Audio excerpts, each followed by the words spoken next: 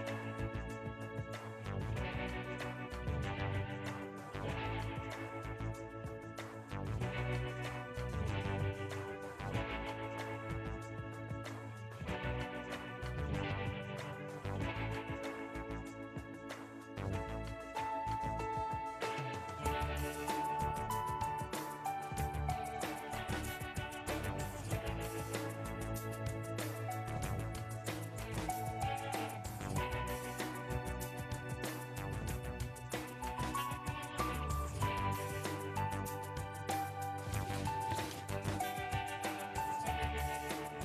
I'm going to call this meeting to order. Oops. I don't have an agenda in front of me, but Barry. Good morning, Commissioners. Good Morning. As you know, um, the week before last, it's almost two weeks ago, you declared the first state of emergency regarding the coronavirus uh, epidemic. Another week, as we saw from that first week, we saw beach parties, we saw a number of large gatherings where the public simply, in large, and in many areas, were not taking the crisis that we face seriously. So approximately a week ago, you made the hard decision to close our beaches. You did that to try to protect public health, to eliminate those large gatherings and, and keep the spread from occurring. Well, since that time, we, they've moved from the beach and we had parties out on, you know, uh, sandbars. We've seen large uh, bookstores that are still packed and not closed. We've seen a number of cases where um, the public simply isn't heeding the warning that we need to social distance to stop the spread. Many people in our community, however, are taking it seriously. Many people are doing the right thing. And we're trying to find a balance of trying to have a public message to say, take this seriously, or having governmental intervention to force us to protect the rest of the population who wants to stop the spread. Our health professionals are pleading with us that if we don't act now, it will be too late. And Dr. Choe is going to talk about that. The residents of Pinellas County and, and the Tampa Bay area need to take this seriously. We need to do everything we can to stop the spread, and that in, includes large congregations of the public where we're intermixing and this virus can take hold and spread to your neighbors, to your friends, to your family. We don't want to be like New York. Um, but as Governor Cuomo said, it, if, if we don't take additional actions, we're going to be like them in, in the next two to three weeks. So today, we're asking for three actions. One, we're asking you to extend the um, emergency order for an additional week. We're asking you to consider a resolution that would say to stay safer, that you're safer at home. You're safer at home is a message we're trying to have permeate our society to say we need to take more aggressive actions to, to keep us safe. The resolution tries to find a balance between safety and the economic impact. And I'll, and I'll be honest, we played with the language forever, and I appreciate the hundreds upon hundreds of ideas and thoughts, you know, but it's an impossible um, task. I mean, to set and say that you're going to close somebody's businesses, you're going to put their, you know, the, the employees, you know, out of a job, um, it, it, there's no good choice here. Um, but if we don't d- take more aggressive measures, we know what's going to occur. Um, so we tried to find a balance in saying that this resolution it finds a common sense approach that says that we need to take reasonable we need to take reasonable measures, but we need to take reasonable risk. So under this, there's a you know there is a risk um, because we also know that there are essential businesses such as a grocery store. If we go to the grocery store, there is a risk there that we can contract this by people that we don't know that are coming in there. So under this resolution, it says that if you are not an essential business, you need to close. But it also provides that if you can employ social distancing practices in your business, then you can remain open. So we're putting the burden to take for people to do the right thing and take aggressive measures that are different than what we have today. Somewhat stronger language, and I think some people are going to speak to that. Um, they fear that if we don't have that stronger language and take that aggressive action, people simply won't act. I have that same fear. I do. And, but we're trying to balance that, you know, with um, knowing that a lot of people are trying to do the right thing. But I want to, you know, make it very clear that people need to heed the warning, or, or we will shut you down. Okay? If you do not employ these practices, we have no choice but to take more aggressive actions to, to keep our residents safe. We also say, you know, we, like I said, we have many people that have done the right thing, and we're trying to find that right balance. Frankly, I didn't want to shut down playgrounds. I figured, you know, you have three kids at home under 10, and, and, and we're gonna have, we're gonna ask you to stay at home. A playground is a great outlet. But as we saw pictures this weekend of 30 kids up on playground equipment because everybody's off, you, we simply can't protect the public health by doing that. That was the last thing I wanted to do. And we, and we were cleaning the equipment hourly, but it's not enough. And so we have to take more aggressive actions. Um, so the resolution that you have before you um, tries to provide that balance. The whole goal is again to stop the spread and remind people that you're safer at home. I'm asking for the rest, the rest of our residents to take this seriously. Um, and so we're happy to, um, entertain any questions, have discussion. Can Before we do that about the resolution, can we go ahead and do the extension so we can. don't forget to do that again? Because That we that almost was, did that last was time. uh, Jules' um, request is that before we get Yeah. into the discussion, we extend the emergency order for seven days. That would be from um, Friday to the following Friday. I would make that motion. Second. Okay, we, um, we have a motion from Commissioner Welch, second from Commissioner Long. All in favor, say aye. Aye. Opposed? Okay, thank you. All right, um, go ahead. Thank you. And Barry, again, thank you to you and your team and all of our partners. Uh, I know y'all have been working 24/7 on this. Um, So you gave us an updated uh, ordinance today. The essential infrastructure and essential governmental functions section, that was just moved? Is it still the same exact wording? It, it's the same wording. They, Okay. they condensed a lot of the wording down. Um, they also provide uh, clarification, um, in, in certain areas. Like we said, you know, pools, they said public pools, publicly available pools, things like that. So there's some clarification language regarding that. What would be the duration of this? It- So long as the, as our, um, emergency is in effect. We can lift that, but again, we'll, since we're meeting weekly, because we can only extend it for a week at a time, we didn't, we didn't put a duration, but we certainly, um, will, it would be with the emergency order. But again, if we're seeing things different, we can have that discussion and that at any time. Okay. Uh, Had a question, I know we had exemptions for food production. Would the school uh, and and independent food uh, distribution initiatives be exempt? For example, uh, Chairman Renee Flowers has a uh, distribution at Lakewood tomorrow at 10 o'clock. Is that exempt? Yes, There was there's, something about there's a provision services. in here regarding, um, the school food programs. Mm-hmm. And I've, I've got plenty of staff that are behind me that, that can answer that. But yes, we have exemptions in there to where they can, any, any of the, what we're trying to provide is that any of the food production areas, even for like takeout and things like that, they continue to operate, but they, they need to employ the social distancing practices. And, and uh, for that, for the school programs, they want to keep the feeding programs going, the same way with nonprofits and others, um, that they, that they can continue to operate under those. Okay.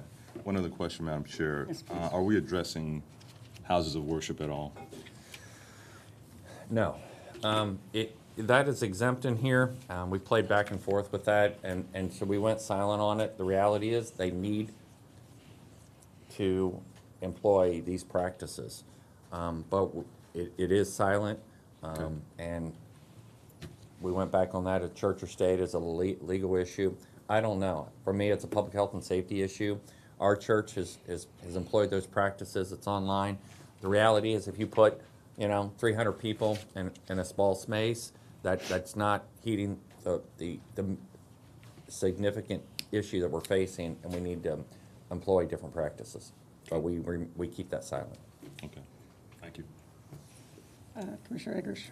Yeah, uh, again, I also want to echo the, uh, the appreciation I'm, I have for our, our emergency group, um, our staff, um, our health department, um, all of the folks who are working extremely hard and overtime under emotionally stressful situations. I mean, this is nothing like we've prepared for.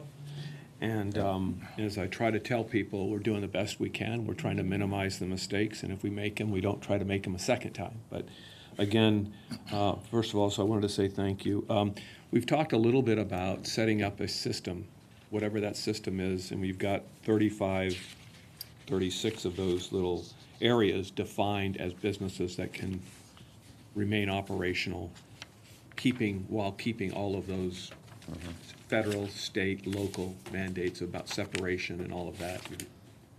I think that's important. Have we given thought to, um, at the end of the day, we're gonna have to see how the numbers start to come out daily, right? Week, daily, weekly kind of thing. So Correct. do we have in place in a thought, thoughtful way, how we ratchet up or how we start to ratchet down based on the numbers that we have? Um, This is clearly a worldwide thing, but what's Correct. going on in Italy is not what's going on in Yeah. uh, New Mexico or what's going on here. What's going on in New York is catastrophic, and they should be getting the bulk of the supplies right now. They're making up two-thirds of the cases. Uh, If we were the epicenter, we would want that as well. Um, So we're, we have our own story here. Um, We have our own um, situation here that we need to deal with. So my, my, I guess my question is, do we have, have we given thought to those kind of metrics that we need to see to ratchet up, ratchet down in between the meetings that we have? Um, Do we have a miscellaneous category that will cover things that you haven't thought of? For instance, I got a call this morning from somebody that said they are a supplier of product to an end product that is being used in the emergency testing. And I said, well, under, ca- under paragraph seventeen, it says, businesses that primarily supply other essential business and operations stated in this emergency order with the support or supplies necessary to operate, as long as it doesn't include a lot of the public. So, Right. um, there will be situations that have fallen between the cracks. Um, and I don't know if there's an outlet in here for you to exercise I Um, think there's reasonable judgment that we can make. Um, You know, we're not gonna be going in and looking at a supply distribution center in terms of looking at the product and what they're distributing, that there's no way for us Right. to physically do that. Um, And, and there were, there's just thousands of different examples in businesses. What, you know, if they laid off twenty percent of their workers, is that good enough? Or eighty percent of their workers, and now they only got six people? You know, it, we really are gonna have to work on asking people to do the right thing, businesses to do the right thing, um, to where we can try to do that. But it's almost impossible to get into those individual Well, we have people situations. out there that are, are letting us know when they see things that are out of line. I'm Right. sure the employees of those companies, if they're not being treated fairly or safely, they'll let us know as well. Yeah. But ultimately, it's gonna come down to the numbers that we Correct. see uh, that are happening here in Pinellas County. So I wanna make sure that we're giving some thought to what that means and how that translates to our actions. So I, I'd welcome Dr. Choe to come up and talk was gonna about, say. you know, talk about the health, you know, aspect of this. We, as you know, we, um, we talk daily, usually many times per day. Um, and, and so we are looking at those numbers. We're not seeing those, but he, he will also tell you that because we're not seeing those doesn't mean that's not gonna come. We also know that we're doing far less testing than anywhere else in the country. And so therefore, is that a false positive? Um, Don't get comfortable. We're trying to take the right balance in that. But you, you auth- you authorized me as your county administrator, um, del- uh, authority to be able to act. So, you know, if there's something that spikes and we need to act, we can. Um, and so we, we have that in place. We have that, you know, daily conversation. Um, and, you know, you guys are just a phone call away. So it's, um, we could easily move quickly if we need to do, take additional steps. Yeah, I'd like to, I, I just have one comment about that. Um, We have heard from a number of employees of employers who haven't done anything Yeah. yet, and they're scared. Um, So if there was a place for us to direct those, I don't know if it's the sheriff or it's you or what, but, Okay. you know, that people who have hundred employees and everybody's still coming to work in one room. Let us, let us think about how to do that. We'll get you back, um, would be a, good. a script to where, how to, how to address that situation rather than try to do it on the fly. Yeah, okay, Okay, and, and if you want to hear from Dr. Choe, he's certainly available. please. Dr. Choe?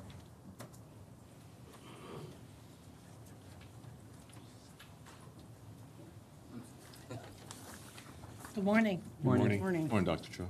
Hope you're getting some rest. Where I can. You want me to give the whole presentation? Yeah, sure. Talk, talk about uh, kind of the, where we're at. Okay, and sure. wha- And what's occurring, and- and more importantly, where you see this going. Fair enough, okay. Uh, Good morning, Commissioners. Morning. So obviously, we're, we are, uh, this is unprecedented, right? The likes of which we haven't seen since the 1918 pandemic. Um, I know there's concerns our numbers continue to grow, uh, both nationally and locally. Uh, There is also an increase in death um, nationally as well.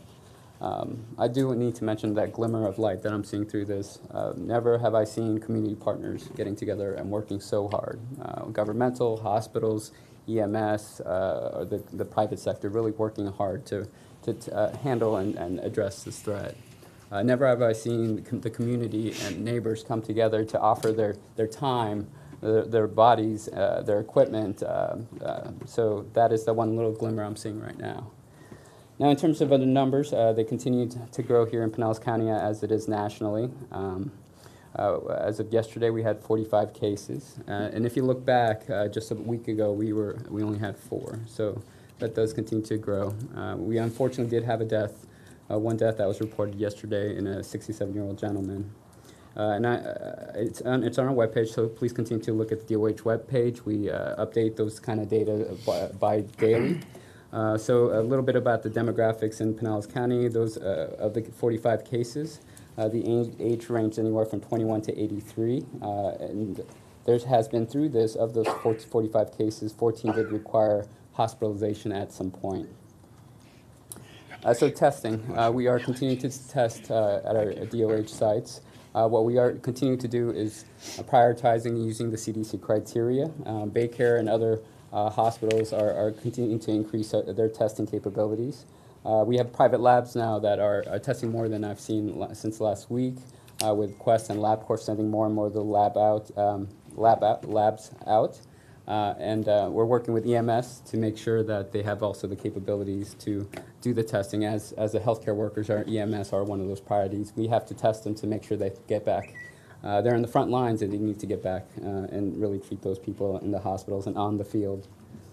Um, so we need to also continue to focus on our vulnerable population. Uh, I know the young can develop severe disease, but as uh, the information, the data still points to that the older uh, in, uh, population, those with chronic health conditions, are the ones more severely in, impacted. So we will continue to focus on that, and I appreciate all the work and all the, the leadership at the Tallahassee level through ACA and DOH, uh, trying to ensure a nursing home and ALF have those uh, parameters, those uh, safeguards in place. Um, can I put the graph? We see it. Oh. Go put it up. Okay, very good. So this is sort of a, a graphical uh, presentation as to what our numbers are doing. Uh, the line graph in the red is the Florida numbers as they, they've grown since the end of February, or since our first case in early February. Uh, and the bar graphs represent Pinellas County. Uh, you can you can see here, uh, this is when Florida declared the declaration, um, the White House, and then you can start seeing where we put in uh, uh, social distancing uh, policies with the bars and the nightclubs, the restaurants, um, and then something I have to add locally, the beach closures occurred around that time as well. Uh, the thing I have to say, uh, so a few things from this graph is that, um, as you can see, it is continuing to go up. Um, we haven't, we have yet to peak, and to some degree, we expect that with increased testing. Um, with some of the uh, social distancing policies, uh, it does sometimes take about a week or two to actually see the, the fruits of those types of policies. Um, and, and, and there has been some, some questions about projections. It, it's, it's hard. Uh, there is some uncertainty with how we can project some of this, especially since in the interim we're also instituting these social distancing policies. And something that I, I've mentioned here is that we're dealing with, a, with a, an infection and a virus that is novel. We don't have a treatment. We don't have a vaccine. Uh, so the only tool in our toolkit right now is social distancing.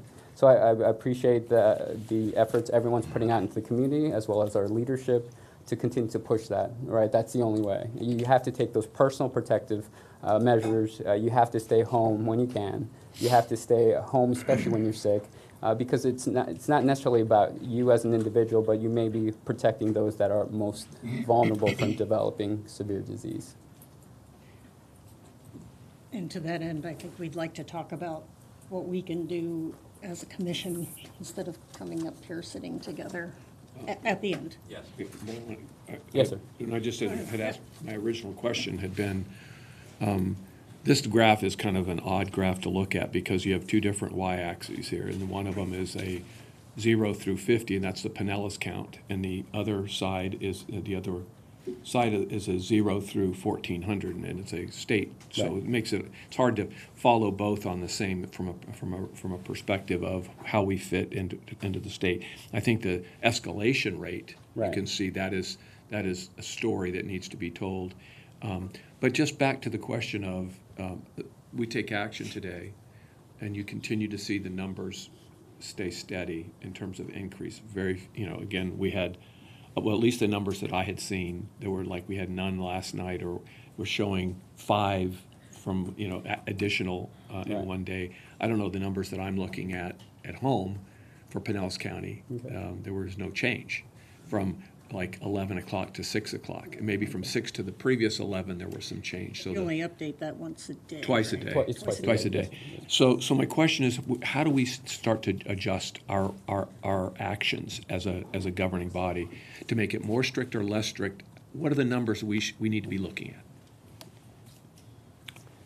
And um, That's in terms, hard. in terms of the projections, uh, it is hard. And, and- and. and We need to be thinking about it, because Of at some point, we have to come out of it. Right. And when and how are we gonna come out of it? So, I mean, again, maybe we don't have the answers this morning, but Right. it also goes to tightening it up and being more restrictive. What, like, these numbers, five a day, if they go to fifty a day, that's pretty dramatic. Right. That's a big change, so I'm just wondering. No, no, no. You, um, you make a good point. And again, with the, uh, with the other variables put in place by some of the social uh, distancing policies, w- it would be hard to show where that, that, that turn would be. Uh, What I can say and what I know is that it can't continue the pro- current projection it is now, right? So uh, you can see, uh, at least on the graph, that we haven't hit that peak yet. We haven't hit that bend. Um, and what I also can say is that if it continues to do so, does that cross that one line where it overwhelms the healthcare system? I think that's what we're all trying to do here. Um, and, and you're right, there probably isn't a magic bullet, and there, there isn't that, that magic data point as to when uh, we can make some of those decision points. And again, uh, being such a novel virus, we're learning things each and every day. We're learning things like the virus may be more infectious and transmittable than the flu for example, and that uh, the more we're learning that it, it does have more severe complications, even for uh, to some degree to the young as well. So, uh, so with those types of variables, with those unknown factors, it, it is hard to somewhat proje- project. Thank you, Dr. Choe. Ma- Madam Chair.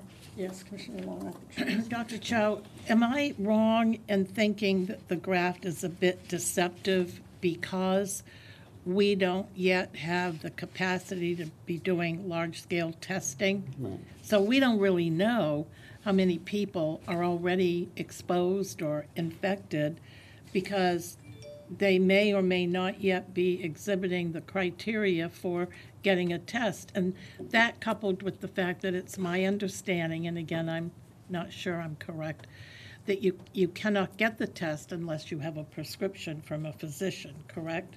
Well, so a few different ways. I think it depends on where you get the testing. Um, I believe that's one of the big care criteria. But uh, but beyond that too, um, it's uh, you can uh, call the health department, work with our epidemiologist, and if it, it meets the criteria, you can actually get that test. So it's you have the test at the public health department yes, then? Yes. Um, and with the testing, with the testing, the we so right now in, in terms of, of those that we can test for the those that meet the criteria, I think we do have the, the enough supply. I do worry, however, as as this progresses, um, that uh, two or three weeks from now, do we have the same number of kits? But beyond that, too, you have to keep in mind that there is PPEs you have to gown up to do that test. So, uh, so doing that could also uh, deplete those types of resources. So finding that delicate balance uh, on testing, I think, is important, but also focusing on some of the criteria, at least uh, currently. And then as a follow-up, Madam Chair, I know you're in touch with the local hospital CEOs, as several of us are. they are really panicking as, as a result of not being able to procure the necessary supplies or equipment that they need to work with folks that are infected. And so my, my question is, do you have a solid answer for when the state or the feds will release the supplies that perhaps the National Guard has on hand? Actually, I, I, I can tell you the timeline for that. Um, and I, I know that that is some of the concerns, and I, with our work groups, especially with the hospitals, we are looking at those factors, looking at the burn rates for the hospitals. Um, and I, I know the hospitals themselves are, are looking at that as a concern, and to some degree, uh, those are some of the concerns coming out of New York currently. Thank you. Yes, Commissioner, so I just want you to know, we have a logistics person that's talking with all of our hospitals on a daily basis. Um, The state is struggling to get resources in, as they are at the federal level.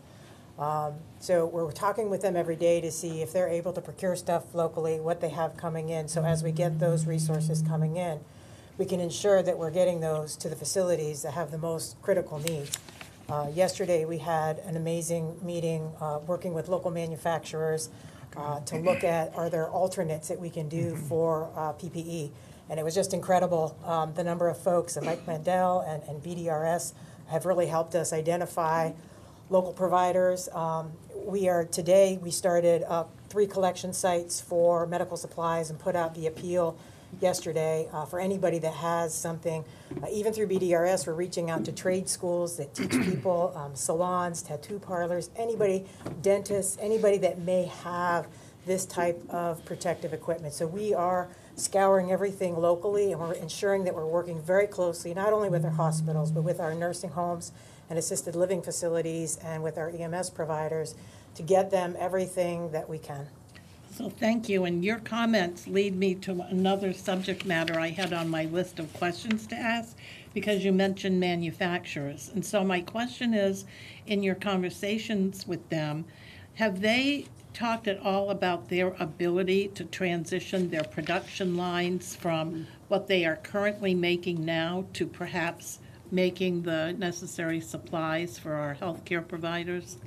So uh, we've spoken with some, uh, we have uh, like uniform companies and other folks that are on board. So we're actually, we're working very closely. BayCare is helping us to come up with a prototype, like for the masks in particular.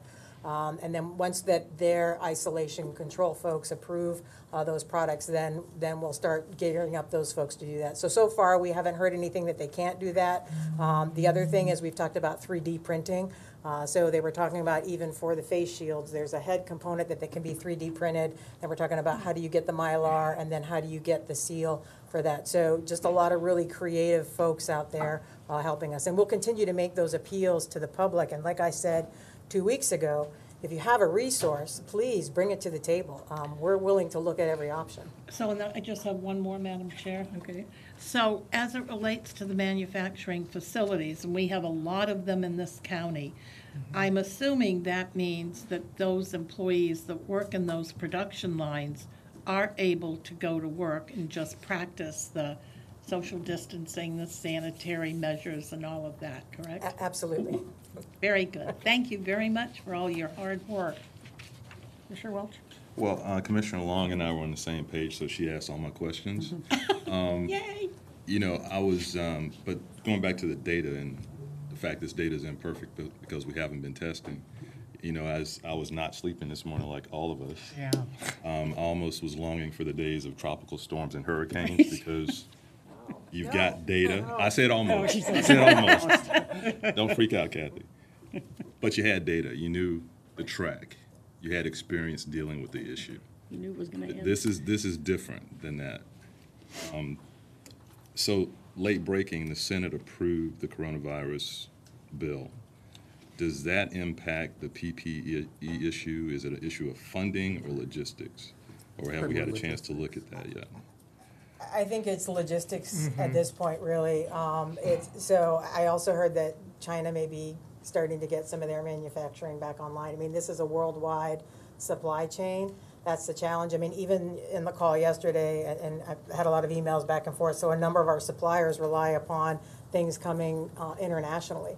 So uh, we've even helped push some stuff up to the White House and Department of Defense to try to help, how do we get that supply chain back up and running? So th- Well, this is a real challenge. Yeah, and the stories we're seeing and hearing and seeing on national news is really about our health system not being prepared to deal with any sustained outbreak because they don't have the PPE, they don't have the basic equipment. And in my view, that, that um, informs the way we should move on this ordinance. And that's exactly the point behind this. So it's all about slowing it down, flattening that curve, allow us to get these supply chains and these logistics back in place so we can better support the system. Because we know this is not, it's not, it's not gonna end tomorrow, right? So we have to make sure that we've got those things in place to be able to support the people that are gonna have to continue to carry on this work. That's why, you know, the decision that you guys make this morning is so important. So can I ask a question about the ordinance, since we're here? You know, this is um, unprecedented, this is life and death, and like a hurricane, there are gonna be economic impacts, impacts on public health, and impacts on folks' careers, but the decision we make either saves lives or our inaction can cost lives, and that's where we are. And so if we're gonna pass an ordinance, I think it needs to be an ordinance that has an impact. And I think y'all have done a great job on it. The one question I have, which I think is, um, that lessens the impact of the ordinance, is the, under D, business in Pinellas County options. Kind of gives a big out if you say you're gonna maintain the CDC social distancing guidelines. Correct. To me, that is the Achilles heel of this. Where, what page are you on, Commissioner? Page three. Page three on Section D. the original. Okay. Original, yep. It seems like that weakens the ordinance. Can you speak to that? Do you have um, a alternative language? Um, So, you're exactly right. Um, We tried to find a balance, hoping that, um, again, it's a reasonable risk, that if a company um, is able, you know, uh, we got so many emails from companies saying that we're at twenty percent of our um, normal capacity. And so, you know, if, if you've got a three hundred thousand square foot warehouse and you've got people every fifty feet, is that any more of a risk than, you know, going to the grocery store? It's probably less. And so we were trying to find that balance to say, do we really need to shut those down? The, the, the, um, it would be easier to take out the social distancing, say, "Bye, folks, it's time to stay at home.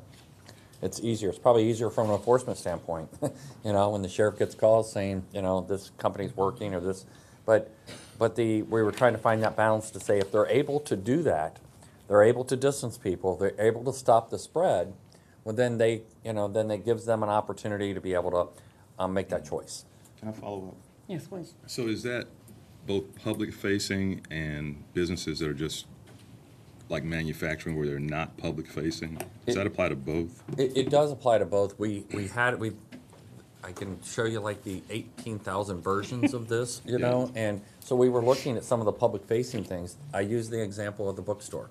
Well, the reality is, there's no way a public-facing business like that is gonna be able to employ social distancing practices and continue to operate. And so it's kind of self-policing on that. You cannot have hundred people in your store looking at books and employ social distancing practices. So you need to close, period. But if the, if, if your particular situation is that, you know, you have one person coming in and they're dropping off, you know, something, but there's no, um, no congregation of large crowds or, or things, then it gives you to be able to make those choices. It is a absolute risk by having a, um, a more, having an out like that. Um, but we, we felt it was just a reasonable risk, given the economic impact of small business. And, um, so, and there's so many different situations. Um, you know, every time you, you know, it's like squeezing jello, you know, it just comes out over here and, and, and there's a, there's a cause and effect for each thing. So it was, it was almost impossible to write it to cover the different situations that, that people pleaded with us uh, to try to find that balance. And so we provided that. We think we can, you know, properly um, educate and police it. We think most people will do the right thing, and those that don't will act. Thank you, Barry. I could, no, I could- we have somebody over here. Um, I mean, when I read this the second or third or fourth time, I saw the places where you can drive a truck through it. you know, if you're, first place, it doesn't say if you're a retail operation, you have to close. It says you can stay open if you can do the social distancing, however, people aren't doing it. I mean, some people aren't doing it. And the one, it's not fair to the ones that are doing it to allow them to keep doing what they're doing right now. And that's what we're doing with this order. Just, I- you know, there are people being very responsible out there and there are people being very irresponsible. And if we don't somehow even that playing field, I mean, it- economically, I think that's unfair too. Commissioner Steele? And that's the difficult part of all of this, is oftentimes we are thrust into the role of having to legislate for bad behavior. And it's very unfortunate. And that being said, though, um, I truly believe that this is a wonderful county and that if we can s- send the right message, that people will work on their social um, distancing and try to comply, keep people employed, um, and stay safe. And I think you um, struck a good balance. If it doesn't work, we can come back together rapidly and make it stricter. But I think at the time being that this is probably um, the best effort that you can make. Um, I sent you, I had some questions from people last night. I was trying to respond to them. I am not a lawyer, but I was trying my very best to um, read between the lines. But, you know, some were suggesting that we mention specifically the federal guidelines, and others suggested that we adopt the, some of the Illinois language. And I wanted to see if you could But that- address That's, that. that's actually some of the language that we used. So Okay. the- the- we. And I know did- we used a lot of Broward counties. I did compare Really, that. really looked, we, uh, we took a, um, you know, uh, w- a more recent one that a county adopted, but, but some of the, some of the language where it gets in essential businesses and the, some of those clarifications, definitions, and even, um, where we employ social distancing practices, those are some of the languages that have been employed in other states. Um, you know, they've, they've implemented it, as you know, um, you know, my, my son works, you know, in Illinois and, and so they're, they're, you know, he's in a supply chain type area and, and so they're able to operate, but they, you know, went down to, you know, twenty percent staffing. And so they have people that are outward facing, they have some people, but they have to have that internal to have the outward facing operation. And they were able to op, continue to operate while employing those practices. They didn't get laid off. Um, so, does it work? I'm, I'm, you know, it's, it's an impossible task, you know, but we can, you know, it, it, and that's the reason we tried to employ some of the language we used. Um, Um, Another question that I- our emails lit up today about golf courses. Yes, they So, did. Yes, no? I Well, mean, they can. I mean, if you can employ social distancing practices, okay? I mean, you know, it's no different than going out for a run or a bike ride, you know? If um, they clean the carts after every time, they, they're, you know, um, I was out this weekend and they were having single cart, you go in a single cart, um, you know? And so there's ways for them to be able to recreate and, and be out in the, you know, open uh, implement sanitiz- sanitizing practices to where we don't spread it from person to person as they come through, um, and they can continue to operate. So that would be allowed under this scenario. And somehow that's, in all of this, we have to figure out how we're going to educate so that people understand what this is all about and, you know, that it is in place for a week. And, um, you know, I think that our communication staff has been doing an outstanding job of getting emails out. But we do need to probably ramp up even more our educational process. So before I finish, I just want to share with you all one thing. And um, this is um, comparing San Francisco, the Bay Area, to New York. On March the 16th, before they took action for shelter in place, they had 310 cases in the Bay Area with five deaths. And there was 950 in New York with six deaths. In the last six days, the Bay Area is now at 786 cases, so it basically doubled. But New York is at 15,168. And I, and the deaths are 13 in the Bay Area and 114 in New York. And what did San Francisco do? They did shelter in place. I prefer what we call safer at home. I think it's less um, Yeah, I agree. frightening. Message, yeah. I think you came up with just the right message because people will get that. You're safer at home. And- And I would like to um, recognize that, you know, we worked in conjunction, obviously, with the sheriff's office. The sheriff is certainly here. Um, Mayor Kriseman is here, and also John Bennett, um, representing the city of Tampa, um, where we were trying to get, the messaging is very, very important, you know, because nobody stays within their little confines. Um, And so we worked on that messaging to try to be consistent, not only with St. Pete, Tampa, and also Orlando um, for us to have a, a constant message of people take this seriously um, and, and, and do the things that are, are the responsible things to do to where we can prevent the spread. Commissioner Long? Yes, um, so I have a constituent that called the Public Health Department yesterday, and the constituent was, to- sent her to BayCare, and when she went to BayCare, they told her they were only testing until noon. So do we know what the correct thing to tell people is Do you, as it do you have the time periods got now? One more, please. I mean, the, the reality is because of the PPE and the shortage of PPE, people are limiting their hours. Um, and you saw that, you know, over the weekend, we had two testing sites in, um, um, Pinellas County through BayCare, and they had to change that to one because of the, the protect, personal protective equipment and the lack of supply. We were wanting to stand up a third testing site that the sheriff had agreed to run, and we were gonna come together and do that but we can't get the supplies to be able to run it. We have the medical professionals, there's all kinds of requirements in terms of certifications and things like that. All that was put in place, but we can't get the test and the personal protective equipment to be able to run the site.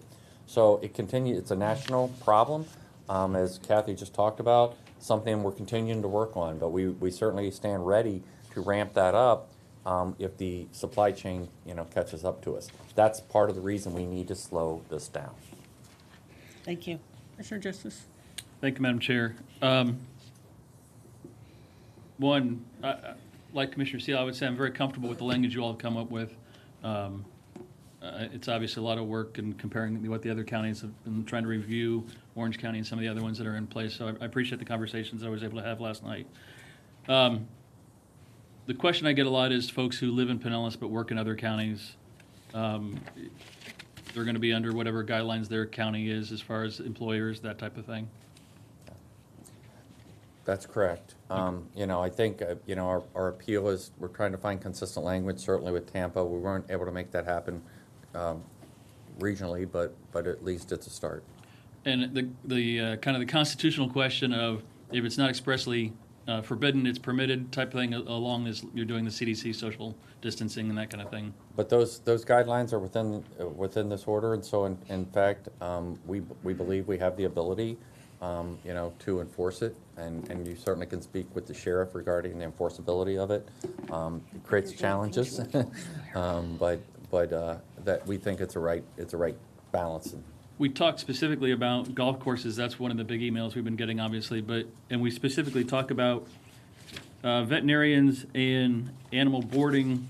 Um, I, the questions I got last night were from uh, uh, SPCA, Friends of Strays, those type of places that are not specifically addressed. Um, I assume that they would be, as long as they're following the guidelines. That is correct. I thought we did address those, but um, It says pet boarding, vet- veterinarian and boarding facilities, um, it it specifically calls that out um, within here. And again, I, I- I don't want us to get through, going through every single exemption, I'm not looking to do that. Um, We- It, it- yeah. it needs to be clear to folks that, um, no matter what ordinance we pass, no matter what's written in any of these things, if people don't take it seriously, if they don't handle it themselves, um, that none of this is going to mean anything. That people need to, um, kind of self-regulate, self-legislate, and do the things that they need to do to protect their families. And uh, we will be there every step of the way to try and guide them uh, in the least restrictive way that we can still maintain our quality of life. So I appreciate your good work. Well said, Commissioner. Commissioner Eggers? Um, Well, that was one of the things that I was going to say, and I think that's, you, you said it perfectly. And I think we are kind of working alongside of all of our business owners, all of our residents to try to come up with that, you know, that, that scenario that just kind of, you know, goes through all the landmines that are out there and all the things that are creating problems. I do think the regional issue is important to discuss. I got a call from the mayor of Tarpon Springs who says, hey, what's Pasco doing? I mean, we're right here. My, my city's right next to Holiday. Um, East Lake, you know, you got Hillsborough, Pasco, and Pinellas. So some of those issues, we need to We- obviously. We have had conversations with Pasco. Okay. I talked to Dan Okay. um, yesterday. That's, that, I think that's really important. The, the, just a couple of other things. Um, as it relates to recreation, I think we're trying to let people, not recreation, but exercise, getting out of their homes, doing some things within reason. Um, parks are still open. The idea is don't congregate in the parks, walk through the parks. Don't congregate on the trails. I got out on the trail the other day and it was packed and people are thinking they can do things the old way. So I think, again, back to the education that Commissioner Seel was talking about, we've got to let people know where we're seeing problems along the way. I mm-hmm. mentioned to you a couple days ago about having some kind of daily show, Power Up with Pinellas, 11 o'clock every day. We mm-hmm. communicate to our residents the issues that we're seeing, the problems that we have, the things that we're considering. And, you know, here's the top five questions of the day that people were getting. I think somehow we need to be in touch with our residents every day. That's, we don't have that opportunity. I don't mean us up here, but somebody at Pinellas County. Um, so I think that's important. Um, the recreation piece, I think we've kind of addressed. I, I want to address Yeah. one particular piece since we're on recreation, and that's with our boat ramps, okay? Um, that's Because it's a, it's, it's, it's, a- it's an issue, okay? But we have, we are not shutting down our boat ramps. People want to go out and boat, you know, they're, they've got their family, they need an outlet. It's no different than running out on the trail or biking or something like that. What we're imploring people to do is not to go to a, you know, sand dune and get a hundred people around of strangers that they don't know and have party central. Um, you know, which is exactly what happened last weekend. We've talked with the state and some of those that are under state authority. They're, they're, we're gonna be working hand in hand with them to try to get that message out and, and deal with that situation. But we don't wanna punish all for a few. And so we're trying to find that balance. Yeah, and I think that gets back to what Commissioner Justice said, and that is that we're gonna be working side by side to make sure that what we're asking you to do is being done. And if not, uh, there's always changes that we don't wanna go down that road, but please, you know, self-regulate. And the only thing I was gonna ask about that, and, you know, again, I, I, the last thing I wanna get into is, is putting super bunches of teeth into what we're talking about. But if you bump into the third, the same person a third or fourth time that is not listening and not, and, and the sheriff has ways to say, hey, I stopped this person. I've got their name in our system. The second and third time, it's gonna be a fine. And it's the same thing with our businesses. We, it's kind of like code enforcement. We, we can't possibly go out there and police everything, but we do respond to people, re, people that are working at these businesses that have said, they're not doing things right here. So they've let us know, we've gone out there, we've noticed it, we've warned them a first time and a second time. There's gotta be a point at which we say, there's a fine. Mm, and I, and I just think that's a piece that's missing, that we need to put, at least, that, listen, we, Well, it's in here, Oh, okay? And there's we a have- fine in And we have the ability, well, again, this is, and so I'll let the sheriff speak to this. Okay, I didn't see that, It, sorry. it, it is in here, we don't call it out, okay? But it, this is, this is a criminal fi- uh, I act think if we you need to call violate some- I that, think- and we can do that. We're imploring to people, but for those few, we'll deal with it. Yeah, if you don't mind, Let's hear Sheriff. from the sheriff.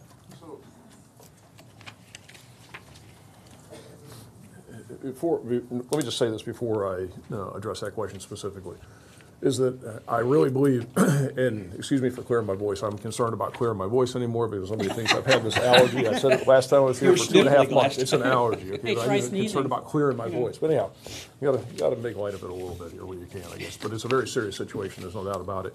But uh, w- we all want the same thing. Every single one of us want the same thing. Uh, we all want to have effective health, safety, welfare, and most of all, we all want this thing behind us. The reality is, it's going to be here for a period of time.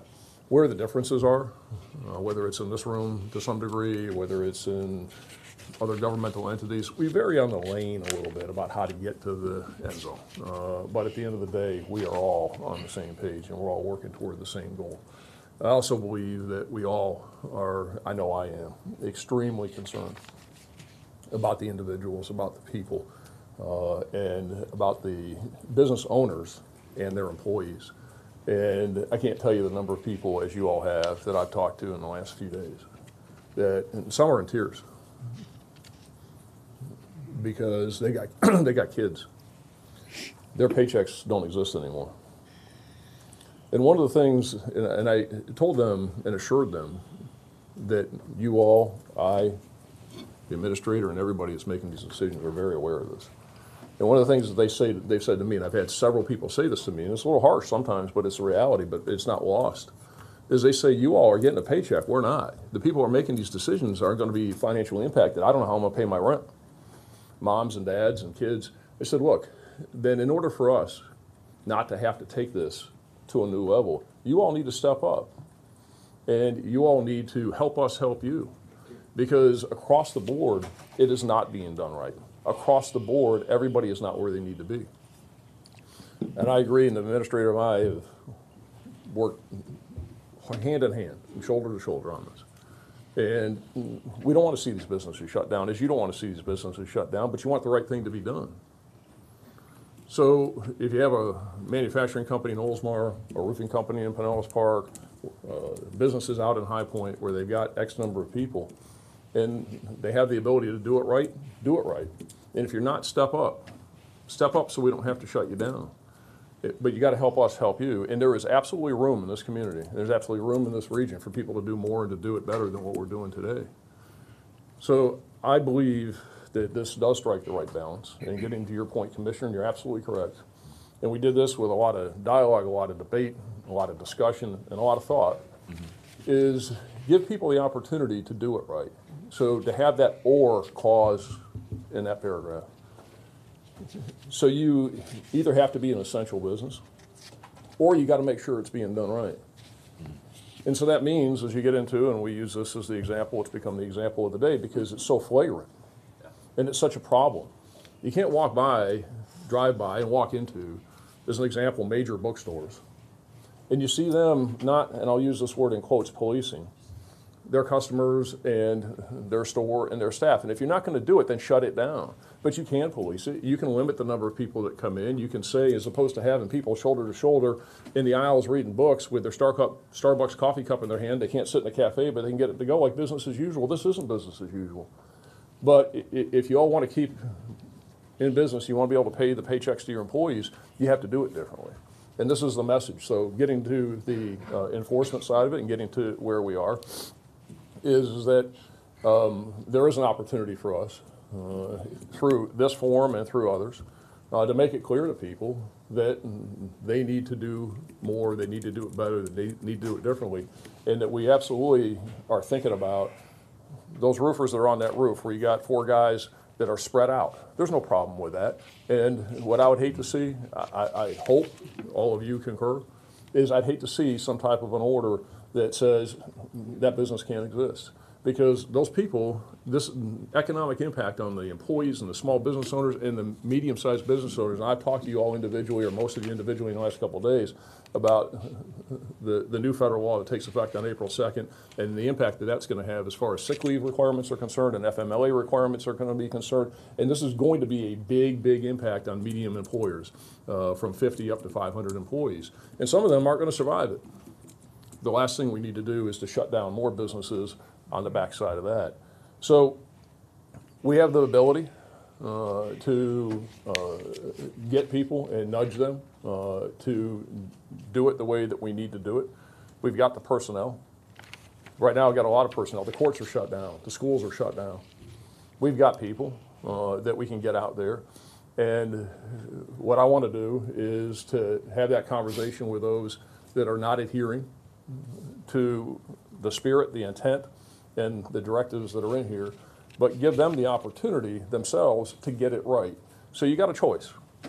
Either you fall into a category where it's not permitted because you don't fall under one of the essential businesses, or you can get it right by practicing the required distance in the other social distancing, the, the, best practices that are required. So either do it the right way, and if you're not doing it the right way, then we're gonna have a conversation with you, and, and then, is that there is an opportunity, and what the message needs to be, and will be from us, is, is that don't make us do it. We don't want to do it because we are so aware of the people that are hurting and the economic impact of this. But we're telling you, and we're giving you that forewarning, that forethought that there's, we got to do something differently here. So I, I'm willing to, uh, I think this is the right balance. I support this as it's drafted. I, think it's good. And I think it gives us the opportunity to get out there and to educate people. And social media is, is a extremely valuable and widespread platform.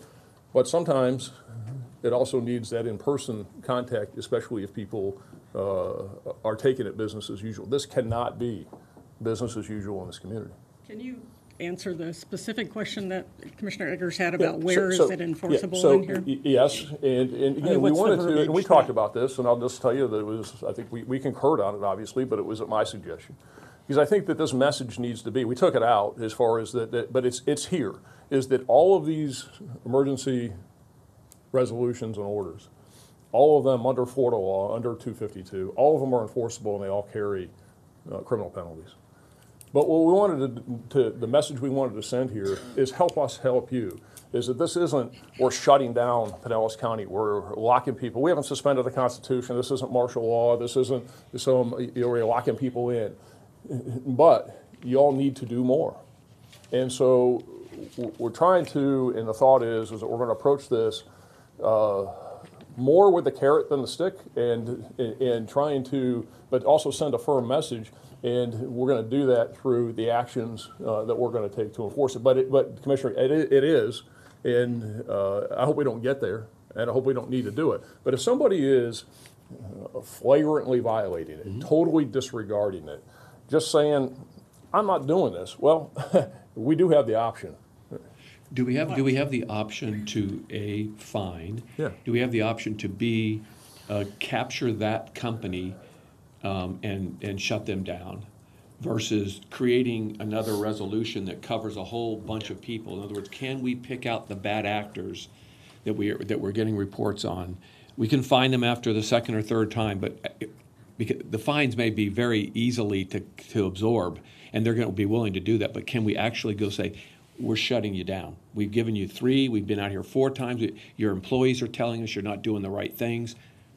We're shutting you down. Even though this thing says you have the right to be open, you're not doing it.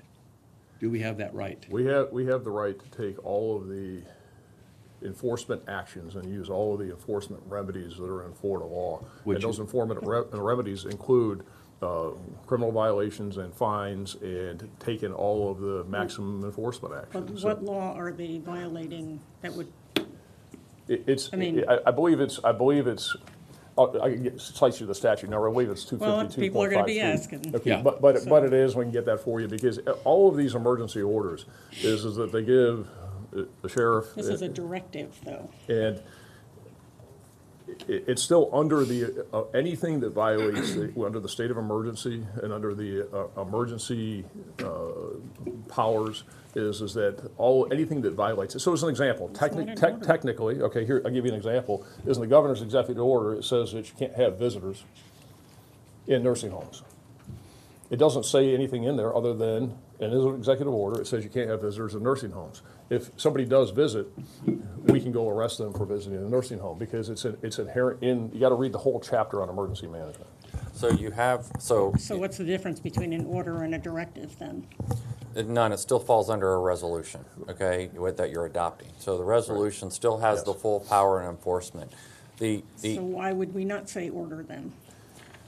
We, we chose a different word. You could Well, change I- it I to order, understand that, but okay? You mean, If you our know, intention is to use it, Be- be- I- I Then tell you- why would it was, it was really say that? messaging, you know, to, to appeal to that. And if you want to change it to order, you certainly can. But let me, let me answer your question specifically. Um, you know, so he, he, do- you- obviously the sheriff has the authority to a violation of this and he has the enforcement powers to fine, et cetera and stuff. If we have a particular bad actor, then, you know, again, you, ha- we have broad powers under the emergency declaration to do anything necessary to prevent you know, uh, uh, the public's, or uh, to ensure the public safety and health and welfare. Um, That, that's uh, a a lot of authority, and so in turn, if a business simply isn't complying, we can issue that order based upon that. Now, the enforceability is another issue, just like anything else. It's, it would be no different if we banned all businesses and a business said, I'm going to ignore you and stay open, right? Then we'd have to get an, a, a court order to be able to enforce Well, I think it's going to be really important to communicate and be clear on what we mean by, by, by following these things that we're doing. We're leaving that Yeah. a lot in people's hands to work with us on this. And so, And so that's why too, because we think it's, I thought, and I think the administrator did, and other people we talked to, and feedback from the community, is it's important that people have a clear understanding.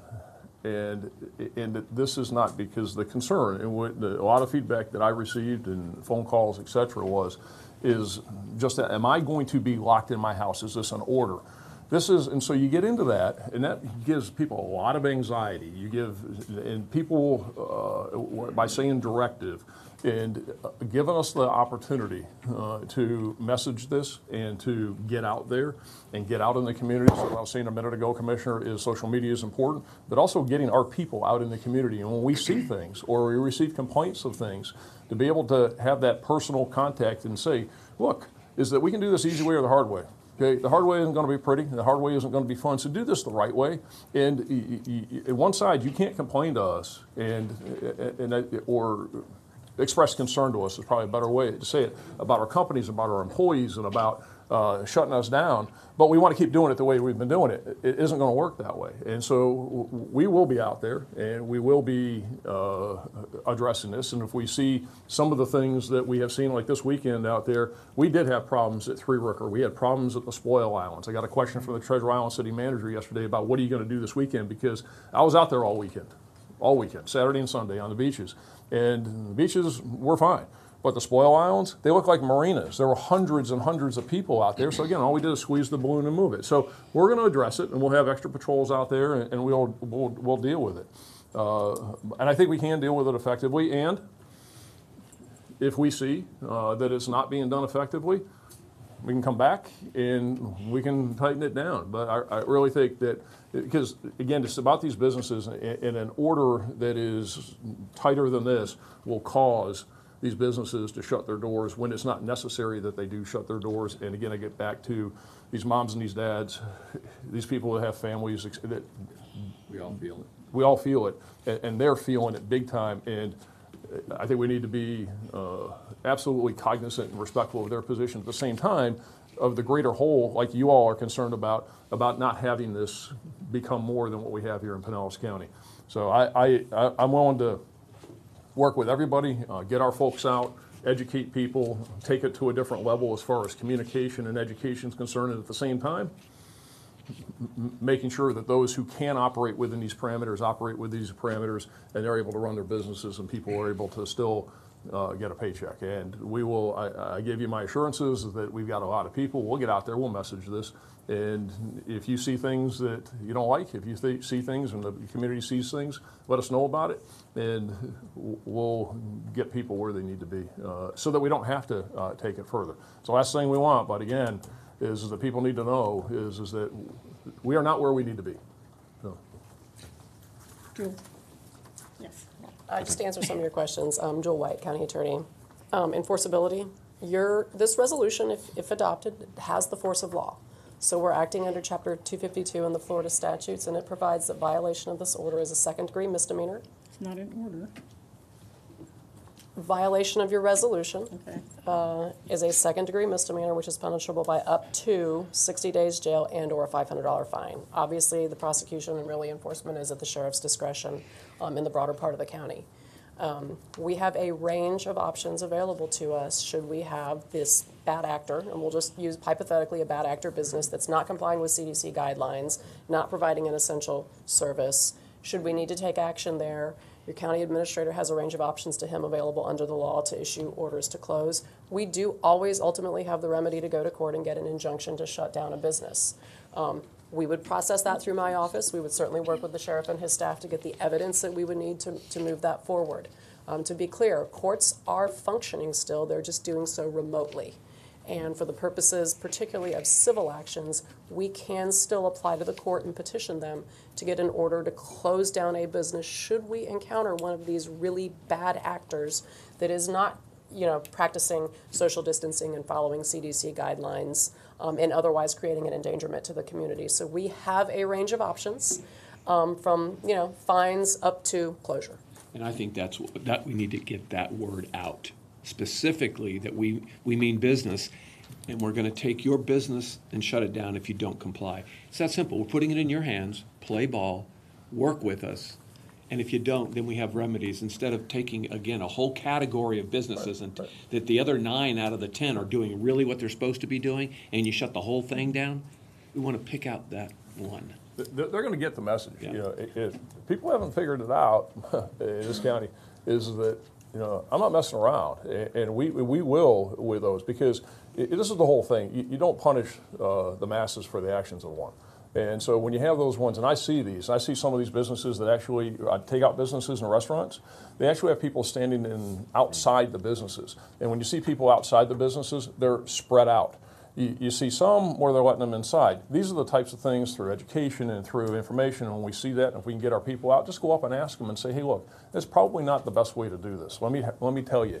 And then if you get if you get one that just is totally uh, flagrantly violating it, we'll do what we need to do, and and, and we'll uh, take the appropriate action.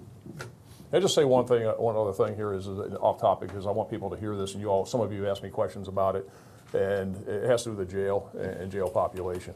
Um, is just to get this out, is, is that when we began this, uh, whatever it is, uh, it feels like many moons ago, but whatever it is now, 10 days ago, is the jail population, we, I told you then, is that we had um, over 3,000 inmates in the jail, and we had uh, 220 sleeping on the floor. The jail population this morning is at an all-time low in the last 10 years. Uh, We're down to about 2,450 inmates, and we have very few on the floor. And I want to thank the chief judge, all the judges in the circuit, uh, the state attorney, the public defender, because of their work in looking at cases individually. We did not do a jail sweep. Uh, These were uh, prudently made decisions by the judiciary in cooperation with the the uh, state attorney and the public defender and the private defense bar, and we've been able to successfully reduce that jail population. In the state of Florida, we don't have one reported coronavirus case in any county jail in all 67 counties. It's because the sheriffs of Florida, including here, I locked down the Pinellas County Jail three weeks ago. We have no visitors, no lawyers, no professional visitors, no volunteers, no anybody. And I suggest to you, and people may find this hard to believe, and some just don't, don't want to hear it, but I suggest to you, because we've locked it down, you actually have less of a chance of getting coronavirus in the jail than you do out on the street because it's been locked down. And we, our bookings are down by two thirds. Uh, normally, we book somewhere around 130, 140 people a day. We've had some days where we've been under 30.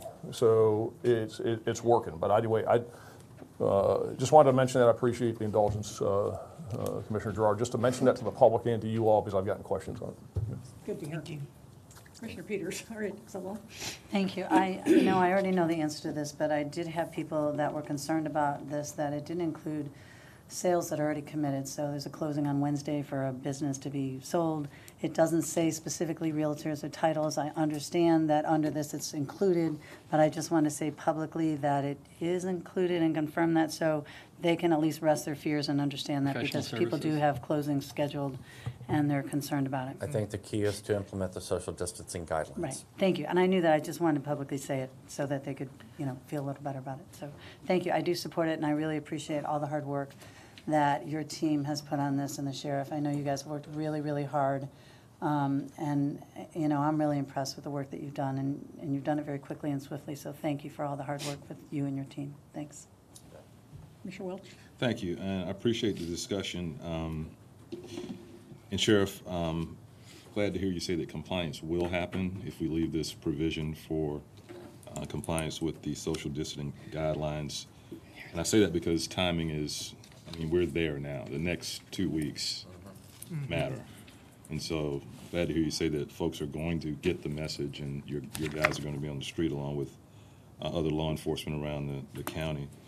Um, One question that I asked before, and I think it's important that we get uh, information on what we're doing to help businesses, small businesses, individuals connect with resources, uh, those in- businesses that have been impacted, uh, even down to food distribution. So our Economic Development Department has had outreach and connecting them with the uh, small business programs that are being offered. Uh, We're watching the federal law closely and being able to communicate out.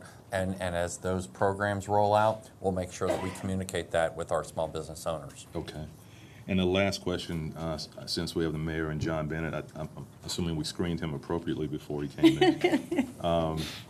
He has a card. This needs to be regional, as, as you've been working on. How does this um, work with any potential Tampa, Hillsborough uh, ordinance, and St. Pete if it decides to do a different one? Well, I think um, everybody has their own thoughts on this. Um, I think what we were trying to get at the, with the Safer at Home is a message um, that will resonate throughout the region. Um, you know, and again, we're trying to strike that balance. Some somebody else may do something different, um, but if we have the same message and we have people take individual actions where they're taking this seriously, it has that same effect. So we're imploring that, um, but I'm sure you will see some differences amongst those.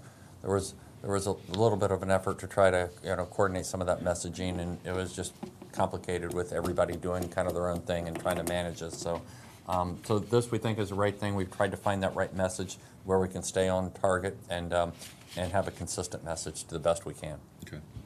Thank you. Uh, Commissioner Justice. Thank you, Madam Chair.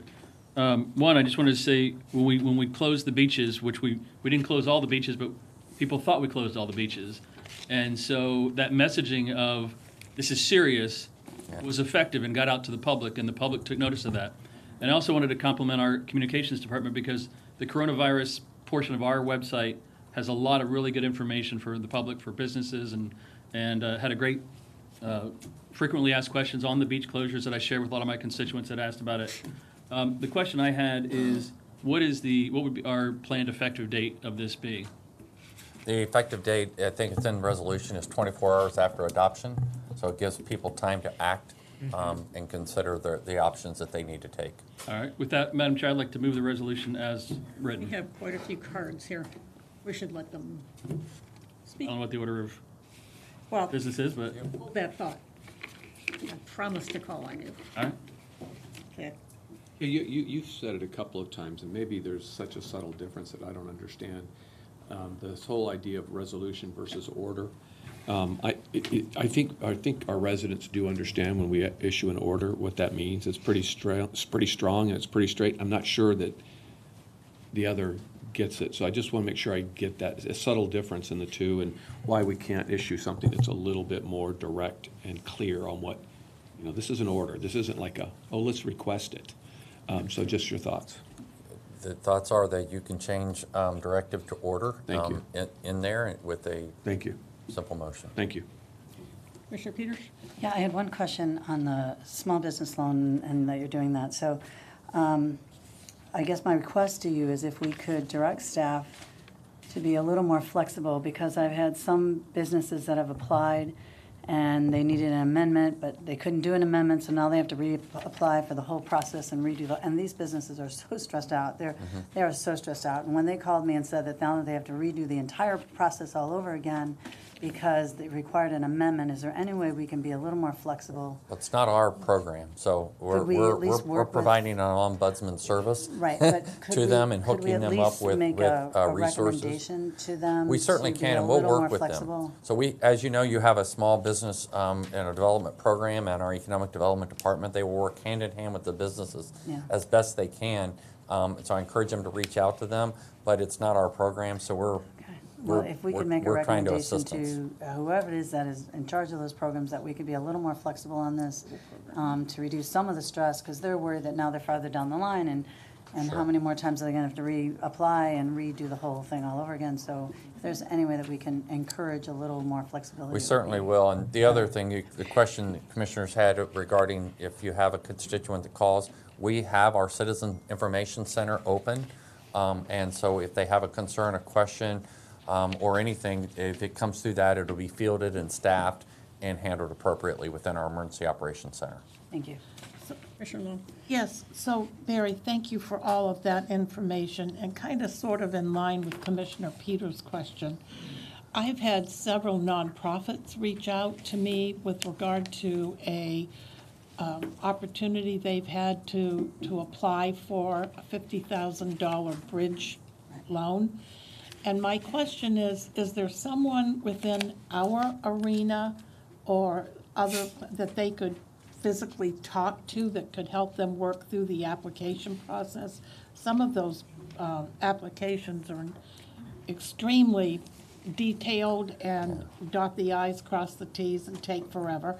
That's my first question. My second question is, how long do you anticipate it will be before the folks who are applying for, for instance, the heartfelt stories about people who have no paychecks, they can't pay their rent, they don't know how they're gonna buy food. I mean, these are stories that really resonate, I'm sure, with all of us, because we all have families and family members who are affected by this as well.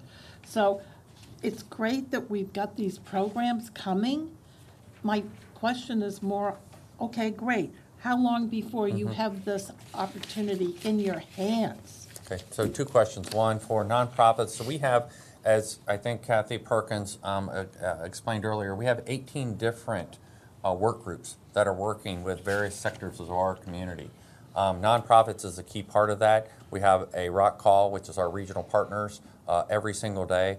Um, So if they have those questions, they can bring those forward. I don't know if we can help them. Every grant's a little different.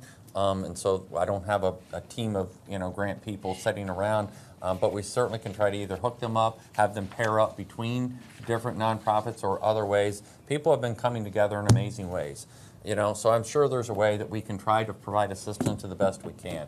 Many of these programs, however, you know, as I, as we said before, are, are outside of our control. We will certainly try to break the bureaucracy down at a higher level to where they can get assistance quick. We understand that it's, it's a matter of minutes, not days or months, that, you know, people need help. Um, and so to the extent we can, we will do everything we can to try to assist them and, and get them the assistance that they need. Thank you. Okay. We do have a number of people that want to speak. Oh, I've just got a, I just Go have just a couple Go quick ahead. questions, I'm sorry. You've mentioned bookstore a couple times. Um, I got a call from somebody about hobby stores. They're not on here as you can't keep, stay open. Uh, You have to close, I mean, they're, s- they're still allowed to stay open. Uh, bookstores and hobby stores, um, but they have to maintain all of the things that we're talking about. Um, again, it's really important. You made the comment about, like, Yeah. I- one hobby store closed completely because they figured they couldn't handle it. The other Right. one stayed open and it was packed in there. Now, they can have people standing outside, just like the restaurants do when they're waiting for And they're two pickup. feet apart. So those, but those two are still in play. It, there, there are so many examples. I'm, um, I'm asking. th- Yeah, th- yeah, those- they can, okay. as long as they practice social distancing guidelines, you know? Okay. The problem we're having is they, they operate as business as usual. You know, when you talk about examples, you know, we have takeout where they have um, a spot on the ground and six feet later, they have another spot and say, Right. stand on the dots. Right. Okay, you know, and they're helping people, rather than having a line and you got a hundred people that stand back to back to back. So And my, po- my point is, you know. have specifically said about playgrounds. We're closing those. So we're just trying to get the message out and get, getting back to this enforceability thing. Please comply so that we don't have to include bookstores in the list of businesses that have to be closed. It would be, it- at that point, it would be all re, all, all public-facing retail, you Well, know? I mean, and- so, so, but that's important notice, again, to get across to people, work with us. Um, the other thing is, is that when our offices are out there, officers are out there, they're doing the work, our work, the sheriff's work, and for all of our residents, please don't harass them. Because I'm getting calls that say, well, the police are out here harassing us. They're not harassing you. They're simply making sure that you're doing what we've asked them to do. So give them a break. Um, and then, um, I do think there's one thing that we need to push out to our, to our landlords out there. Keep your tenants. Because what happened, they can do what they want to do. They let their tenant go that hasn't paid rent in a month or two. They're empty.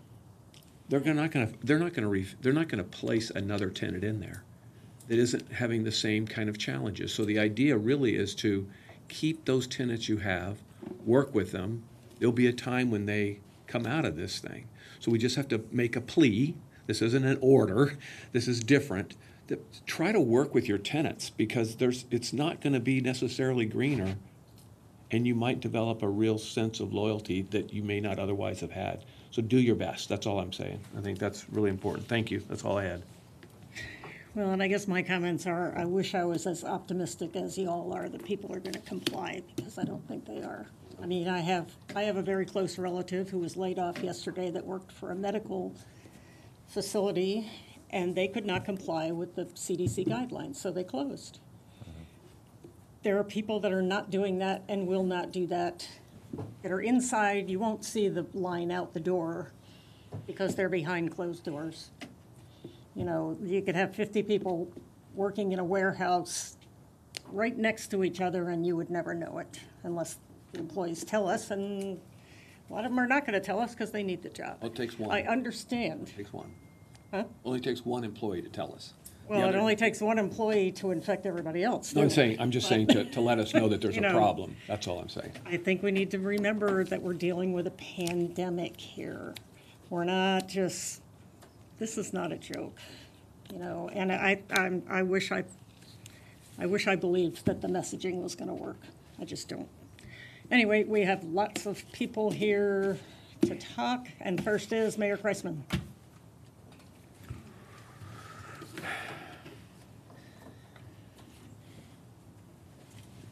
Good morning. Good morning. Glad you have your wipe.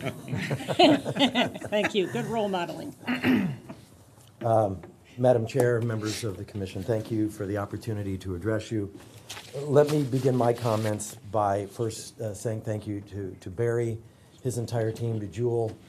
Um, Our city, uh, myself and our city attorney have been working um, through the weekend, through late last night, uh, on language, as um, Barry said, um, and, and, and we agree with.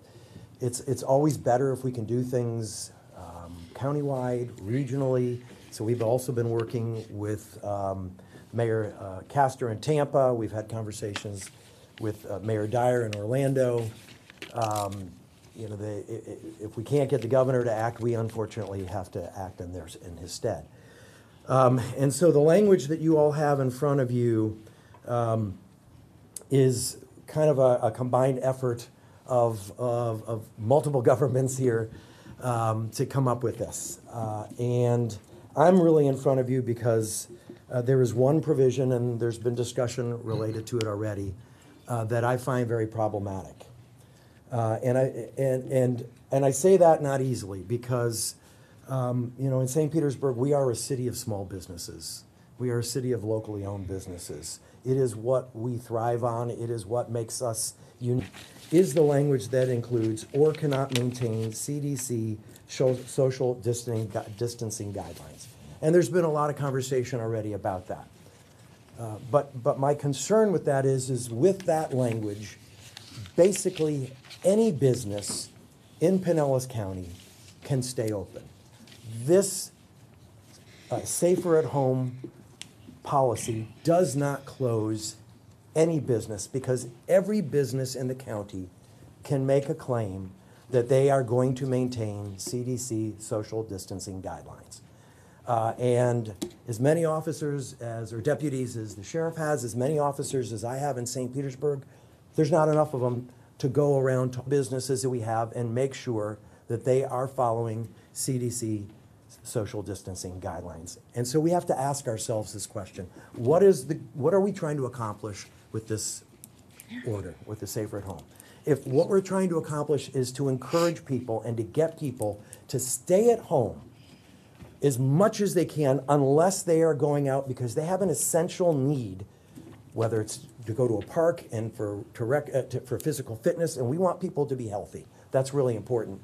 Or it's because they've got to get food, whether it's at a takeout restaurant or it's at a grocery store or to go to a doctor or a pharmacist or they've got a sick pet. Those are clearly essential services, and there's a long definition of things that constitute essential services.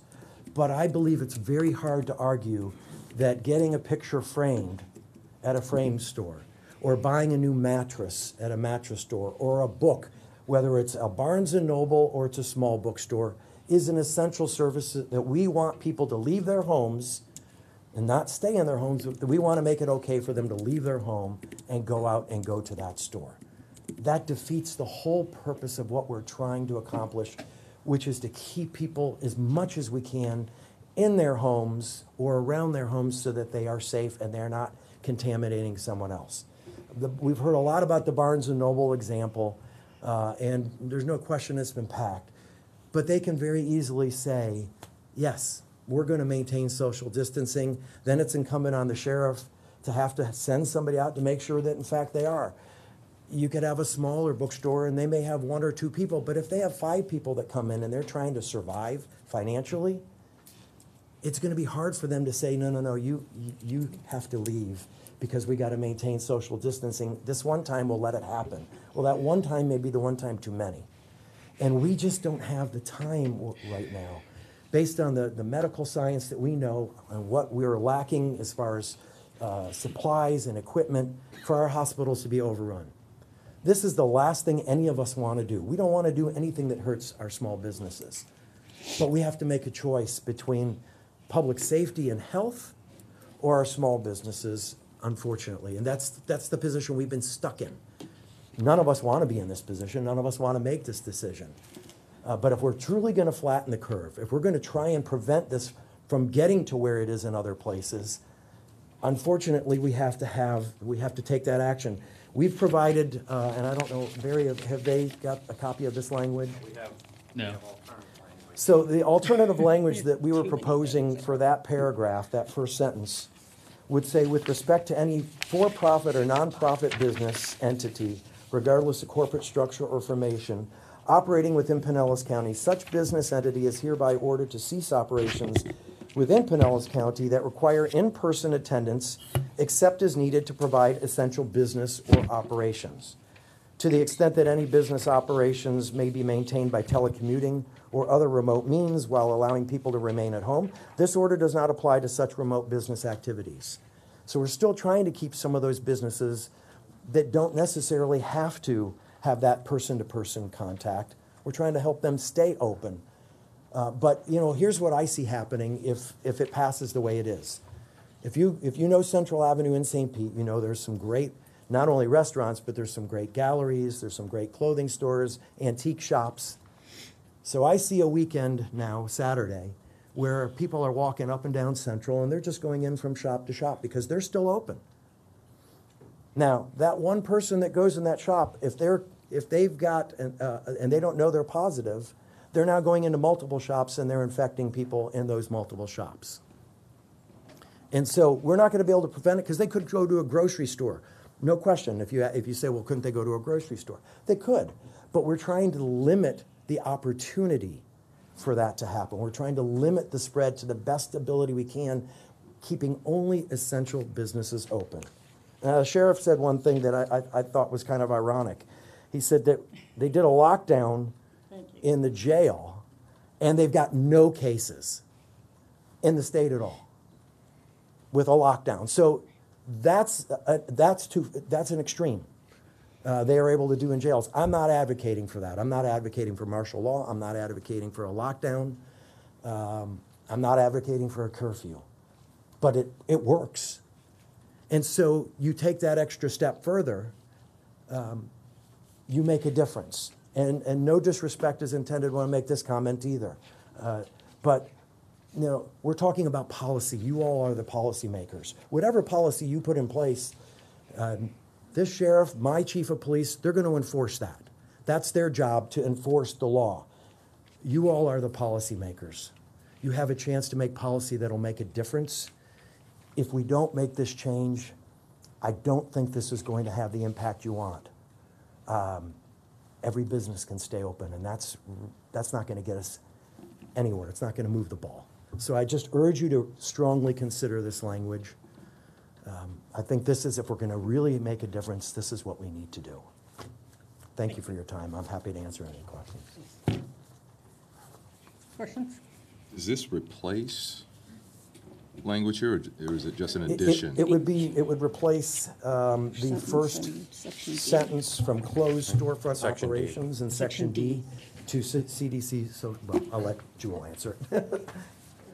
We, we prepared this in advance of that, obviously. We knew the, the mayor uh, was coming. So we, we took that section D and incorporated the concept of what, of what he's asking for into that section. That would be more restrictive. What you would see in the language that we passed out to you all, these are excerpts taken from a resolution that the city had prepared, and I was in communication with the city attorney uh, for St. Petersburg. So, and I'll put it here, but this is what we just handed to the commissioners. Um, Under what you all have is section D, we would replace that opening paragraph with what you see here. The entire paragraph. the entire paragraph. It would be a more forceful directive to close. Um, And then what you see down below is essentially a definition that I think if we were to go with the first paragraph would be wise to add, which defines what is meant by minimum business operations. And you can see that term is used here. So this, again, this is language that's taken directly from a resolution that the city had prepared, and I, again, I was in contact with the city attorney. And the, what would happen is this paragraph on what you have would be replaced with this paragraph. And again, that is a more forceful statement that these businesses are to close unless they uh, are considered an essential service, and that would be the whole list. The, the list under D would Below that. remain the same. Okay. So unless it's an- uh, providing an essential service, it would be closed. So, um, again, one of the things, and you made some comments about our small businesses, which we all share. Uh, you know, Obviously in this country and in this state, certainly in our communities here. But what, you know, if we don't, if this isn't handled in Pasco County, in Hillsborough County, then folks are gonna go across the plate, you know, they're gonna leave their homes, leave our businesses that could have, again, I understand your point, loud and clear, but they're gonna go somewhere else and make those businesses survive over there and at our expense. And Again, I know this is all, it's health, safety, and welfare, it's all three that are critically important, probably in that order. Or safety, health, and welfare, whichever order, but welfare is also important, and when I say welfare, I'm talking about people surviving, having money to buy food, you know, um, not having those, those situations that come up that lead to total depression, isolation, and suicide. So there's a, there's a health component to going too far with it, and if our neighbors aren't doing it anyway, it really hurts, not only the, you know, anyway, I've said it, so, you know, your thoughts. If I may respond? Yeah, please. And, and, and I understand that argument. Um, fir- First, first and foremost, I, I think what we're talking about from the type of businesses that are not essential, and I gave a couple examples, a framing store, or a mattress uh, company, uh, or a bookstore. You know, it, it, it, if, it, it's hard to imagine truthfully, someone that lives in downtown St. Pete, uh, driving to Pasco County to buy a book, which they could order on Amazon if, if they need it that badly. Um, what this does is it sends a stronger message. And we've talked a lot about education and messaging and trying to send a forceful message to our community about how seriously we're taking this and how seriously they need to be taking this. And so, yeah, they could do that. My hope, and we kind of saw this happen a little bit with the last order that we took, uh, a number of other communities, after we all took a position, have followed us, um, including the state, which then put in the 50% rule on restaurants. If you remember, they hadn't had that policy, and they took it. And you see counties all over the state of Florida and cities all over the state of Florida, in the absence of leadership from um, the state government, are now taking actions themselves because Yeah, they well, feel like they need yeah, to do and I think you- that's a good point. and, you know, hopefully there'll be some followers on this, but we know bricks and mortar and our retail industry are threatened every day, from the big users, the big boxes, and everything else, and now this comes along and it's gonna slam them. I understand your point, and I, you know, I'm, uh, but I don't want them going across and, and populating others and doing the same damage and then bringing it back here. So if I can make Yeah. one last point to, to the response to that, is the quicker we're able to flatten the curve, the shorter the impact on the economy. The longer this spike happens and the less we're able to, to, to start reducing it, the longer the impact, the negative impact is gonna have on our business community. And so if, if this is, ends up being a 30-day, I don't know how long it'll be, but let's say it's a 30-day or even a 45-day or 60-day, uh, it's going to be hard on the businesses, no question. But if it's six months, we have a whole lot more victims uh, in our, in our economy than, than those few. And, and again, neither of them are good. Okay. Thank you. Thank you. Thank And you. thanks for providing this. Uh, Maria Gast- Gatsis?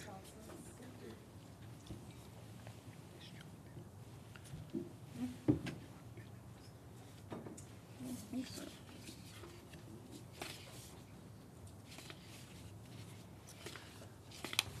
Good morning.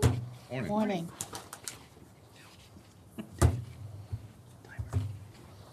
And I do have something for all the council, ladies and gentlemen. Um, I don't know. Well, these are for all of them. I made a copy for every single one of them. My name is um, Maria Gotsis, and I grew up in, on Clearwater Beach. Um, I now reside in Palm Harbor. I've been a proud citizen of Pinellas County for 50 years. Um, and I'm a hairdresser for 33 years. Um, it's my life's passion, and I do work two jobs as a hairdresser.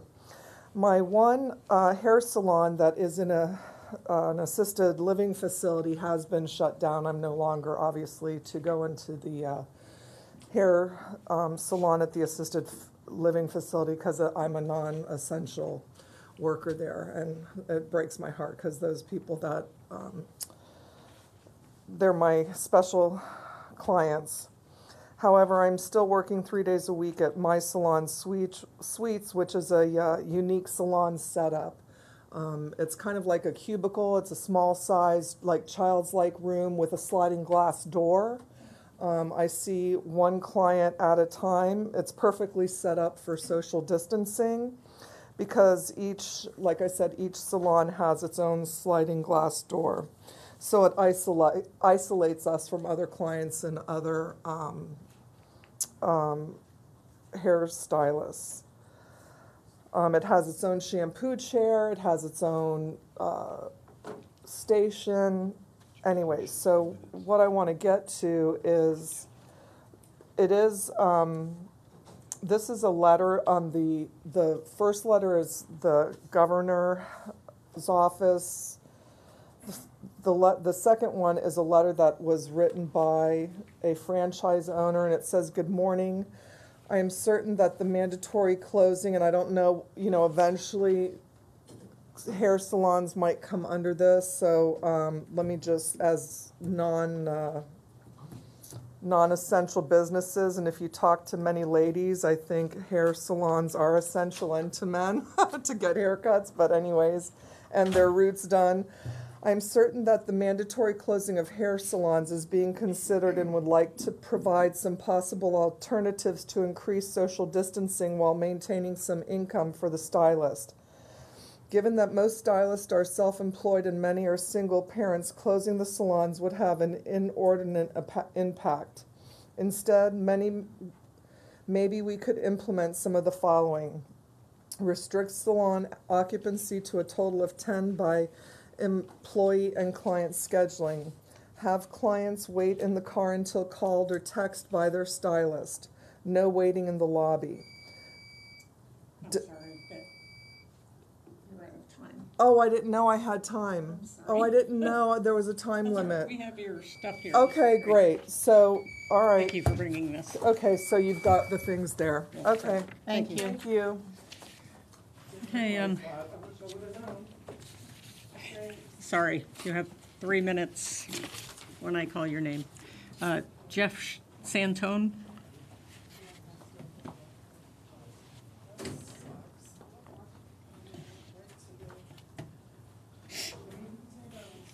Morning. Morning. Good morning. Well, thank you. Uh, A lot of what you said was, uh, answered a lot of my questions. Uh, I just had a few, I guess, concerns about how quick all of this is moving, based off of what seems to me not a whole lot of information. Uh, We have roughly 900,000 people in this county. We have 45 cases, which is less than half of a percent. And we've rapidly increased how fast we're moving to safer at home without seeing what's happened with the social distancing that you've already implemented. And the message I've gotten so far is, um, you know, we've got a lot of people that are doing good things, and we got a lot of people that aren't. And that seems very subjective to make policy changes based off of a lot of people that you haven't named a number of, a couple hundred people out on the island or on a, a sandbar, uh, some businesses that uh, aren't complying, but I haven't heard specifics of who, what, when, where to make these policy changes. And to me, it seems that it's moving very, very fast without a whole lot of data. And now we're listening to a mayor from another county who's trying to influence. Uh, He's from this He's county. from oh, he's from- county. Sorry, we're listening from Tampa Bay or St. Petersburg. Uh, what he would like to have your language say. And so I may not be able to stop what's going on here, and what I say may not make a difference. Uh, but as far as the language goes now, our company that we work at, uh, we took it very seriously. And they put all of our at risk people at home, you know, work from home. And here's all this cleaning supplies you guys need. Are all of you 10 feet apart where you sit? Uh, to me, it doesn't seem fair that you guys are starting to move very, very fast based off of few bad apples. And all I kept hearing was a bookstore, a coffee shop, a sand key. You know, these things to me don't seem to rise to the level of safer at home. And then at the end of this, it doesn't say how long this lasts till the state of emergency is declared over. So when is that? Which we do it every week. Every week. Am I allowed to come next week if you do safer at home? Of course. Sure. Because some of these say public barring. Yes? We'll have a way to get. We'll have a public way input. for you to give input, whether we're input. physically here or not. Okay. Well, that's all I wanted to say, but I, I did want to stress the fact that um, listening to the sheriff saying it's not martial law yet and asking good questions of where do we ratchet it up to, to me, that's a little bit scary. You know, all of a sudden you give a number and now it's martial law. You know, there's no way to say that that's not going to happen, given the fact that you've moved in this fast, this far. So, well, thank you. Thank you. Thank you. Jeff Bloomberg?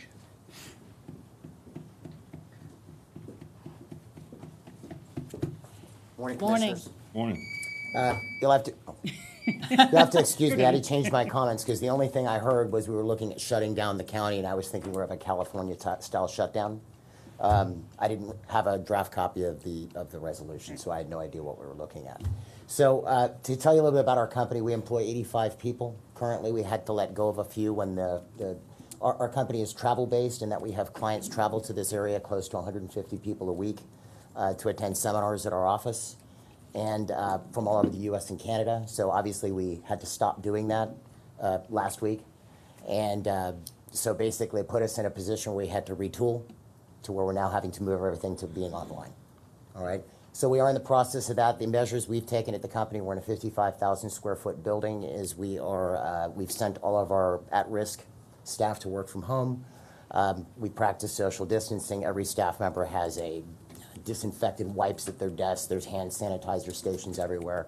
We've been very, very uh, vigilant to observe CDC guidelines, which was part of a problem because it went from 250 people to 50 people to 10 people in less than four days. That was why we went from last Monday, I'm canceling everybody for the next month plus as far as our clients. So our whole business model got blown up. So we're attempting to keep our employees. All of the executives and senior people at the company took severe pay cuts. We're attempting to keep all of our employees, especially the most vulnerable. If I'm in a position where we're doing what the mayor of St. Petersburg says, my minimum business operations are reduced down to anything below what you have in the resolution, then I'm going to have to start divesting myself of employees. And Florida unemployment, I believe, maxes out at $275 a week. Correct? Don't know. I believe it does. Okay? So here's the problem shutting down retail businesses for a 30 day period, has that even been done before? I, I mean, this is like an experiment. The FDA tests a drug through, through phase three trials with, you know, with the, uh, for phase 3A and 3B before they actually will release it, which is why we're waiting for a vaccine. And now we're talking about shutting down retail businesses for 30 to 60 days. I think the bigger concern we're going to have in a month to two months from now is massive social unrest, crime waves, because people have to eat. And I don't think we have enough police and sheriff, you know, sheriff's deputies to patrol all that. Okay, so we have to practice a, a, modicum of restraint as we're doing this. I agree with the resolution as written. I agree with the resolution. If we could keep more retail businesses open or keep businesses open, I think that's fine. I think that uh, adding any type of further restrictions is going to put a lot of us small business owners, because don't worry about me. I mean, I'll figure something out, even if I have to leave the area eventually. Okay, it's my employees. I want to keep them all. I don't want to have to fire people. All right, this is like single moms, lots of single moms. I mean, this is Yeah, it's real. Anyway, so I agree with the resolution as written, but I ask that we don't make further modifications as the mayor of St. Petersburg suggested. Thank you. Thank you. Uh, Gerald Krantz? Good morning. Good Morning. Morning. Um, I'm not a business owner, I'm just a worker here in Clearwater. And um, last night, I by chance came across the article in the Tampa Bay Times that this was going on. Scared the living out of me, okay? I hardly got any sleep last night. Uh, some of the people I work for, some of the girls that are single mothers, um, a couple days ago were crying. They're saying, if this happens and I'm out of work, what am I going to do? You know? Um, I echo the two last gentlemen's comments. Um, and um, I, this is not as bad as I thought it was going to be. But you guys have a lot of power. And personally, scary. I would ask that maybe you guys and some of the other employees, government employees, maybe not take a salary during this period. Let's see how you guys function that way. Some of your employees, okay? I want you guys to feel it like everybody else. And that's all I really have to say. I Thank you. understand that we didn't create this issue. No, but, I mean, we're just trying to do what's best for everyone. well, I know, but you guys make the decisions. We haven't made a okay? decision yet, I so- know. But you can, not just today, but in the future. We don't know how long this is gonna last. Yes, we know. Okay? Okay. This could be long-term, but people still have to live. We know. And the things that I have seen, Sir, we know. I'm sorry I shouldn't have responded and started that all over. I think. no, no, no, I, I'm glad you did actually, because, because um, the things that I've seen when I've been out, which hasn't been that much other than going to work and part of my job, what have you, I see a lot of seniors, um, they're practicing social distancing. I think everybody's taking this seriously except for a few people. And of course, you know, in this county, there's almost a million residents, right? Or Right. maybe over, I don't know. Okay? How I got in here, I mean, I'm probably one of the few citizens.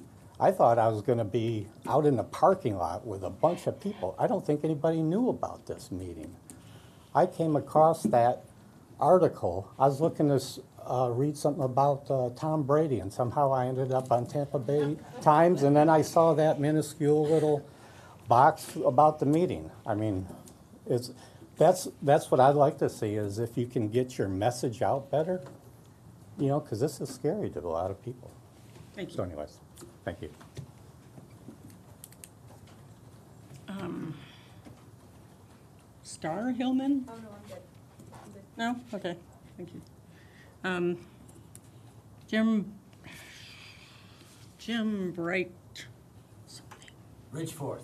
Bridgeport, thank you, sorry about that. I had to write it without my glasses, Oh, okay. Madam Chairman. Good morning. Commissioners, good morning. Morning. You know, um, I, I, I also came here with uh, uh, quite a bit of trepidation. You know, I was genuinely concerned when I read what I read. And um, I actually uh, own businesses abroad and here in Pinellas County, so I've, I've witnessed personally the extreme. I actually own a business in Italy.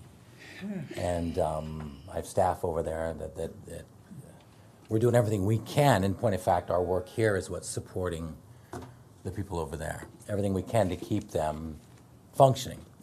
And then I read this yesterday, and I, I'm like, oh my God, what, what is going on. I, I, really, I am a little bit calmed, um, and, and no disrespect to the, the gentleman from St. Petersburg.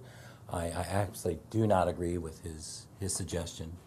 Um, as a business owner, um, you know, we employ, we work in the energy, energy sector, so we're, we're used to disaster mitigation, our risk management uh, protocols are kind of built to actually operate in this scenario. Um, so we're able to pare down, send people away. We have the critical jobs that have that, that that technically have to be on site, but we're able to really spread everything out and, and, and, and, and actually kind of work through this. But there are a lot of people that I employ that will not have jobs if you you move forward this way, and that's just heartbreaking. And I, and, and, and, I am comforted by the fact that I can honestly see that you're not just taking this lightly. So that I, I, I didn't know what I was going to walk into this morning. So that is, and, I, and I'm really very, very pleased with uh, the staff and, and, and um, the sheriff. Um, I really see your,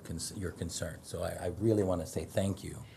But um, I honestly want you to just please take a breath, you know, before we move aggressively. And, um, you know, it, it is, uh, I mean, we've all lived through um, hurricanes. We know what those are like. I mean, I've, I've, been here for upwards of 30 years running a business. So, um, and I, of, we know that drill, and we know that that is a finite thing. Okay, this is slightly different. So before we go and do something dramatic, really, really, I would say that we measure four or five times and really think about it. So that's all I want to share is just that just really consider um, the actual economic impact of what's going to happen. Um, you know, to a family that is, there are many families in our county, unfortunately, that live hand to mouth, and you all know that they're your constituents. And um, we really must consider that. So the, the resolution, as, as you're looking at it now, I'm personally okay with it, but to employ draconian measures at this point, I think would be very, very premature. So I respectfully ask you to do that. Thank you. Thank you. Um, Tony, and I'm not even going to try on that last name. Tony, last name starts with a T? No, No, no Tony. No Tony. Okay. Oh. He's coming. Next is Tom Rask. Morning, Commissioners. Morning. Hi there. Toomey is the pronunciation. Toomey, okay. Yeah, a little bit tricky. Firstly, thank you uh, for giving me the opportunity to speak and have uh, my voice heard. I'm an employee. I'm, I don't own a business in this in this county. I'm an employee, and I'd like to um, firstly say I came here also not knowing what to expect, and having read uh, the verbiage of the uh, resolution, uh, am quite calmed on it. Uh, I'm here representing uh, a company, I suppose, or employers that have taken a very proactive, responsible approach to this situation. um, you know, when you look at the sanitisation that we put throughout organisation, bringing extra staff in on weekends to clean, disinfect, and sanitise our environment, all on their own merit, on their own origination, to make it safe for us. And I think for every bad actor that you have out there that is doing, you know, uh, breaking what you'd call the, the safe protocols, there is dozens and dozens and dozens of organisations and business owners out there doing the right thing. Uh, so I was encouraged to read the verbiage that you're putting forward and know that that supports those people. And um, I'd encourage you to more look at, you know, backing those up because I have a lot of colleagues that can't go a week without a paycheck or potentially a month without a paycheck. Some of us can, the majority cannot. So thank you for taking the time to really investigate this and push something that's proactive uh, and supports the community as a whole. So thank you for your time. Okay, thank you. Tom Rask? He's probably in the back. He's probably out. Oh, he's right there. Oh, there he is. Morning. Good morning. Um, If I cough, it's due to allergies. It's a wet cough, not a dry cough. Uh, This is, of course, very serious. Unfortunately, the numbers coming out of other locations, other countries shows that, and the US shows we're unfortunately on the same track as on the same slope as Italy and Spain. I don't own a business in Italy, but I do have business. For instance, in Holland, they reported 80 deaths today so far. Um, it's very serious. It's going to get worse. You're going to be back here um, unless there is a cure, and it there doesn't look like there is one anytime soon. Um, there's talk about essential services. Well, what is essential? I know one thing is essential, and that's the First Amendment. And that's why I decided to come here today on my bike. Pardon my appearance, but um, I just decided to make this part of my bike ride today. And the, the, our constitutional rights are essential. Um, the founding fathers, as a constitutional lawyer pointed out in an article, they were well, they were very familiar with pandemics, and they made no exceptions for pandemics. They could have easily put it in. Uh, for instance, it's in the Constitution they can suspend habeas corpus if the public safety so requires. There's an exception. Um, one question, thinking about all this too, in no particular order, is will, will COVID 19 go away during the summer? I, I'm not sure it is, but uh, I'm not sure it's that kind of flu, in which case this means it's going to be with us for a while. I also wanted to point out that in your messaging to people, you should be practicing safe distancing yourself. I saw here from the media room a lot of employee, a lot of people up here at the lectern being very close to each other. A previous speaker talked about the danger of massive social unrest, and I'm glad he brought that up because please don't put the sheriff in a position of having to enforce something that, that isn't enforceable because the people don't want it enforced. Um, law enforcement are sheepdogs. You don't need that many sheepdogs to keep a, a, a flock in, in, in, in line. But, you know, don't put them in a position where they can't keep the flock in line. Finally, the county attorney, I think, s- uh, cited um, Florida statutes 252.50 as authority for this, any violation of this resolution being a misdemeanor. But if you read the text, and I can pull it out and read it, it says that uh, it's a misdemeanor if you violate any rule or order. Order. This is not an order, this is a resolution. Okay? So I had a lot of the same questions about resolution versus order. Um, if I can just finish up, Madam Chair, I will comply with any directive if it's given in the spirit of, please do this. If you start ordering people around, it may not go so well. Thank you for your time. Thank you. Andrea D'Agostini? Hello. Hello. Hi. Hello. Hi. My name is Andrea, and I'm Italian, actually. I didn't come from Italy today, but I- I'm originally you. Italian. It's all good. Thanks All for clarifying good. that. So, but I mean, I- and um, I believe that um, you see the news, but I don't know if you know what's happening really there. Um, I would like to. I've been in the United States since 2013, and I think that uh, Italy right now is shut down, and what you see, all the ah, worry about the, the disease is not what people are worried about. They're worried about the fact that they don't know what I'm going to do tomorrow. Businesses are closing, people are laid off, and that's the real danger. And I believe the United States is not a country that is designed to shut down. I, I really do believe that for my experience with this amazing country and amazing opportunities. I am myself uh, an executive of a company. I have many juniors, and um, I do not see how this can go well if we don't a trust the American people that they will do the right thing. I do have trust in that. Of course, I know I've not been here in my life, right? I know the Italians and the Americans. I have more trust in the Americans doing the right thing. and uh, now, if you ask me, do you trust yourself in doing the right thing? Okay, that's a completely different discussion. but but um, I think United States are an incredible country, and I really believe people will practice um, anything that they need to practice in order to move forward with their businesses. I, I United States are not designed to shut down. They will be worse. The cure will be worse than the disease. In my understanding and what I have observed and the numbers that I, that I have observed. Now, um, I don't know how many seconds I have. Okay, I can see it. Um, now, as far, let me say a word, as far as Italy is concerned, I have uh, parents uh, that are doctors and that are working in the hospitals, and uh, their communication is very different than the media's communication. Their communication is that they, I spoke with two, so it's not a generality, just two, which are my uh, aunt and uncle. is that uh, the vast majority of the circumstances in which uh, the situation was very uh, dangerous or critical were already dangerous and critical situations. So it wasn't that these people were very healthy, life was perfect, they were winning, they were like, yeah. It wasn't like that. They were mostly upwards of 80 years old and with existing conditions. And uh, even they are more worried about the hysteria of people jumping in the hospitals because of concerns. And they're thinking that uh, the real danger right now is the economical infrastructure and the fact that it will not sustain. It, it can't work if people don't produce. So, but I, I have seen that you, you have the same viewpoint. I was seeing that you were concerned about a realtor and their ability to produce and to work, and I love that viewpoint. And, and I think you all have the same viewpoint. So I will really encourage you to uh, move forward with the way the, the proposal is being put together. I think it takes care of businesses and it gives trust to the American people, which are an amazing, an amazing, real and amazing country. Thank you very much, guys. Thank you. Thank you very much.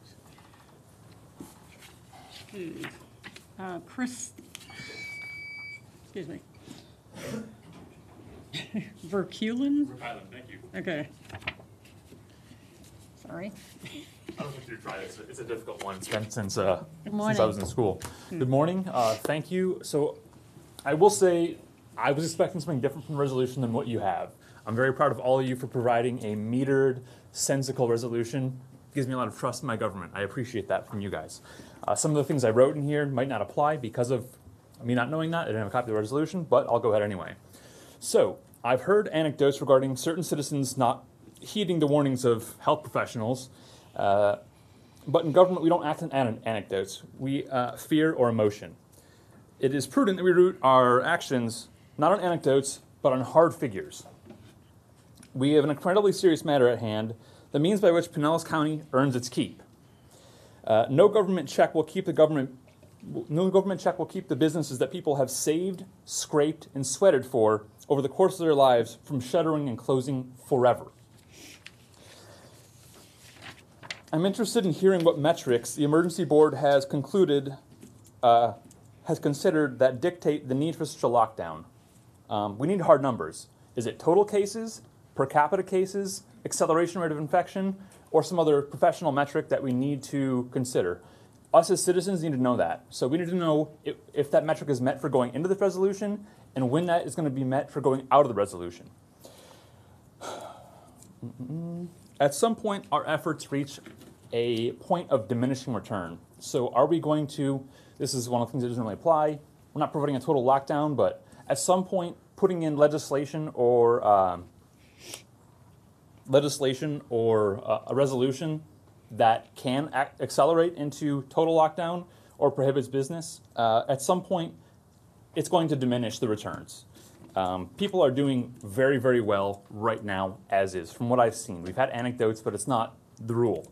Uh, Pinellas County is not San Francisco or New York. Our population density and means of transport do not spread disease in nearly the way theirs does. We're not Italy. We have four times the ICU capacity they do.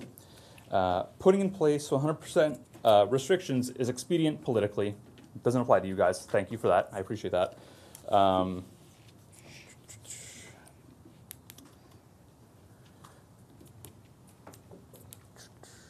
the essential.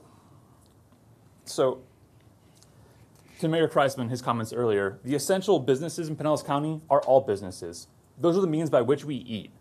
We currently are looking at government checks to supplant that income for now, but that's not going to help long term, and that's also not going. There, there are gaps there. So I'd appreciate if you guys would consider putting in some kind of metrics to get in and out of it. Mostly. Thank you for your time. I appreciate it. Thank you.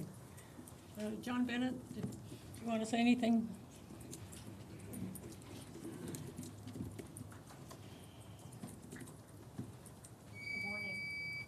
Good morning, John.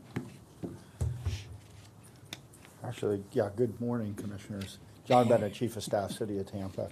First, thanks for the invitation to come over today and work with the key partners across the Bay. I think we've heard uh, great discussions. Appreciate the efforts of County Administrator Barry Burton, obviously Sheriff Gualtieri, and Mayor Kriseman as we try and work uh, in this collaborative effort uh, across the bridge, if you will, to do the best thing for our citizens in our metropolitan statistical area. As you know, this is, you know, the regionalization factor is what Mayor Castor's concerned about. You know, we, um, you know that we're looking to be a more resilient community together. Uh, that's evident by some of the proactive measures that we've taken. So this gesture of, of trying to look at the language and keep the framework very similar to protect our communities and our citizens, not squeeze the balloon and push folks on each side of the bay is very critical. That's why she asked me to spend time with you over here this morning to make sure that message was, was clear that we support the efforts that Pinellas County and partners are doing. And we're going to follow suit uh, to the best we can over across the bay in the city of Tampa. And we hope that uh, the other urbanized counties follow the same. You know, we know there's seven urbanized counties. You see three of them contiguous in South Florida, what they're going through. Uh, you see what we're going through is two contiguous urbanized counties that are, each county is, is bigger than some of the states in the nation. And so we have the density and the risk factors. Uh, the one thing we don't have, and I appreciate all the comments about the data, is we do have resting data. We know how many people uh, are being treated uh, because they have tested. And of course, we know the few fatalities that we're trying to avoid. But what we don't know is that 7 to 14 day data set that is putting us in increased risk. And I think as we move incrementally through this process, um, and I, I appreciate all the comments of paring the down the, the, uh, the safer at home message, which is what we've been working on as well. Our plan is very well aligned with everything that has been said here. Uh, we're hoping that some of our key partners in our urban areas will do the same thing. And I just want to remind some of us that have been here for over 20 years doing this, we have a great foundation. The sheriff knows this as well as what we know in our public safety world. We have the Urban Area Security Initiative that's been around since just after 9 11. And it started out in three cities and two counties of, of you know, St. Pete, Clearwater, and Tampa, Pinellas, and Hillsborough County. And it brought us all together almost 20 years ago to do this very thing and align our resources, our strategies, and our tactics to protect the public from any natural or man made disaster. We didn't expect a pandemic of this measure. We know we're fighting something that we can't see, uh, but together we can get through this. And I'm really here just to answer any questions specifically about what we're doing in Tampa and how Mayor Castor can support you over here in Pinellas. Yes, please. Um, John, thank you so much for being here. I'm most interested in i- uh, whether or not your actions in Hillsborough County, well, two things. Do your actions in Hillsborough, and not in Hillsborough County, in the city of Tampa, do they mirror what is in our resolution? Do they say resolution? Do they say order? Those two words are important, as Commissioner Eggers has pointed out. And lastly, do you have in your ordinance, resolution, whatever, the language that uh, Mayor Kriseman has talked about? Because I really believe it's so important for us to be consistent. Understand. Um, so let me answer the first question. Um, our draft, of course, you know, being in the county, we have to align ourselves with the county's um, emergency policy group or executive policy group, just like everybody does in each county. We're trying to take the, uh, the, the things that the state are doing and leverage those into our policies. We're doing the things, of course, in conjunction with Hillsborough County. But the mayor also feels that because we're in a densified area, that we have to take additional actions. So we are very closely aligned. Our city attorney, Gina Grimes, has been working very close with the attorneys that were here today um, to get that alignment where it is. Um, how this ends up as far as when the mayor launches it at the end of the day, uh, there's an executive policy, emergency policy group convening today in Hillsborough at 1:30, and I'm sure more of this will be part of that agenda. But we're, uh, we're looking to build on the orders that were already existing, and whether it becomes a directive or an order is, is to be finalized. Thank you. Now, as far as um, some of the nuance, uh, specifically, we're very concerned about small businesses. As we know, most businesses are small businesses. Uh, We also know that we can crawl, walk, run through this model, and we could keep moving just like it's been testified already. But one thing we do know is that because the data is seven to 14 days behind the curve of knowledge, we have to take some calculated risks to make the community safer at home. And we have to trust and verify those businesses that they're going to do the right thing and they're going to adapt. I mean, they all opened a business because their entrepreneurial spirits are ready. We're hoping that they'll figure out a way to adapt. We've talked to our golf courses. We've set up those um, uh, navigation lines to help the small businesses stay afloat and recover and do everything that they need to do for their employees. So we're working, we're trying to work on a one-on-one model with each of those businesses. We know there's some businesses that just can't adapt because the environment doesn't create that, and that's where we're hoping the relief packages will come in. But in the meantime, you know, we've, we've modified our golf course behavior, we've modified our boat ramp behavior. We're trying to do everything we can to keep those small, small businesses, you know, paddling through this, if you will, to, till we can recover quicker. And I do agree with the statement that the, the reasonable measures we take today may sh- not only flatten the curve, but it may shorten the economic challenges that we're all facing.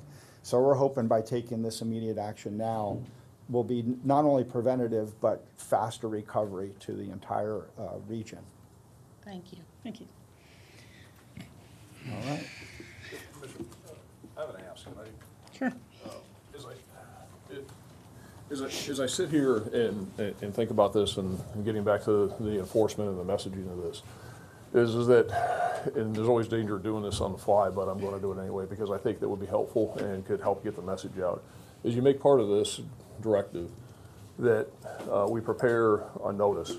And the notice is, part of, it says, per the Pinellas County Board of County Commissioners, consistent with the CDC guidelines, and we post it, and we could print it, and I could have deputies deliver it, just like we delivered all the hotels, and post it on the front door of every retail establishment, and they're required as part of this to post it, and then I could have deputies go out and we could touch everybody, and post this and make them post it on the front door.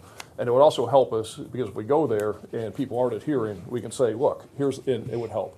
So I'd suggest that we consider doing that, and you consider that as part of this uh, resolution, and make it mandatory that all these businesses that stay open post this type of a sign that's very clear, and it says per the Pinellas County Board of County Commissioners, plus CDC guidance, and we craft that, and you consider making that part of this.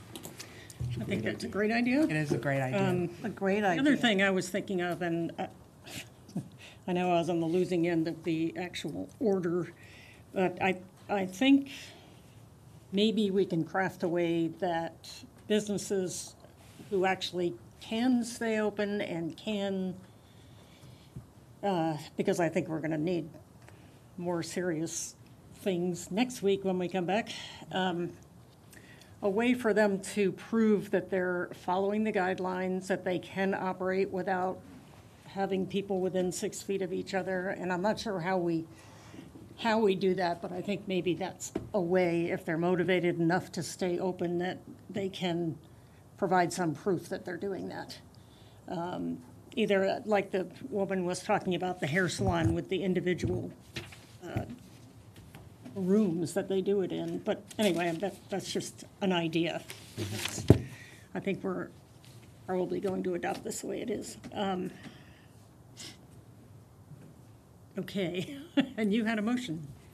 Yes, Madam Chair, I would move that we approve the resolution as drafted by the county administration, along with the sheriff's posting requirements. Second. Okay.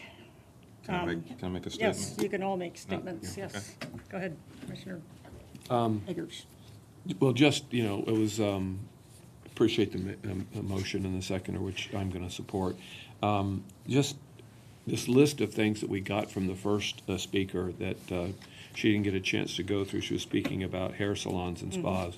But, uh, there was a couple of other things on there that just got my attention.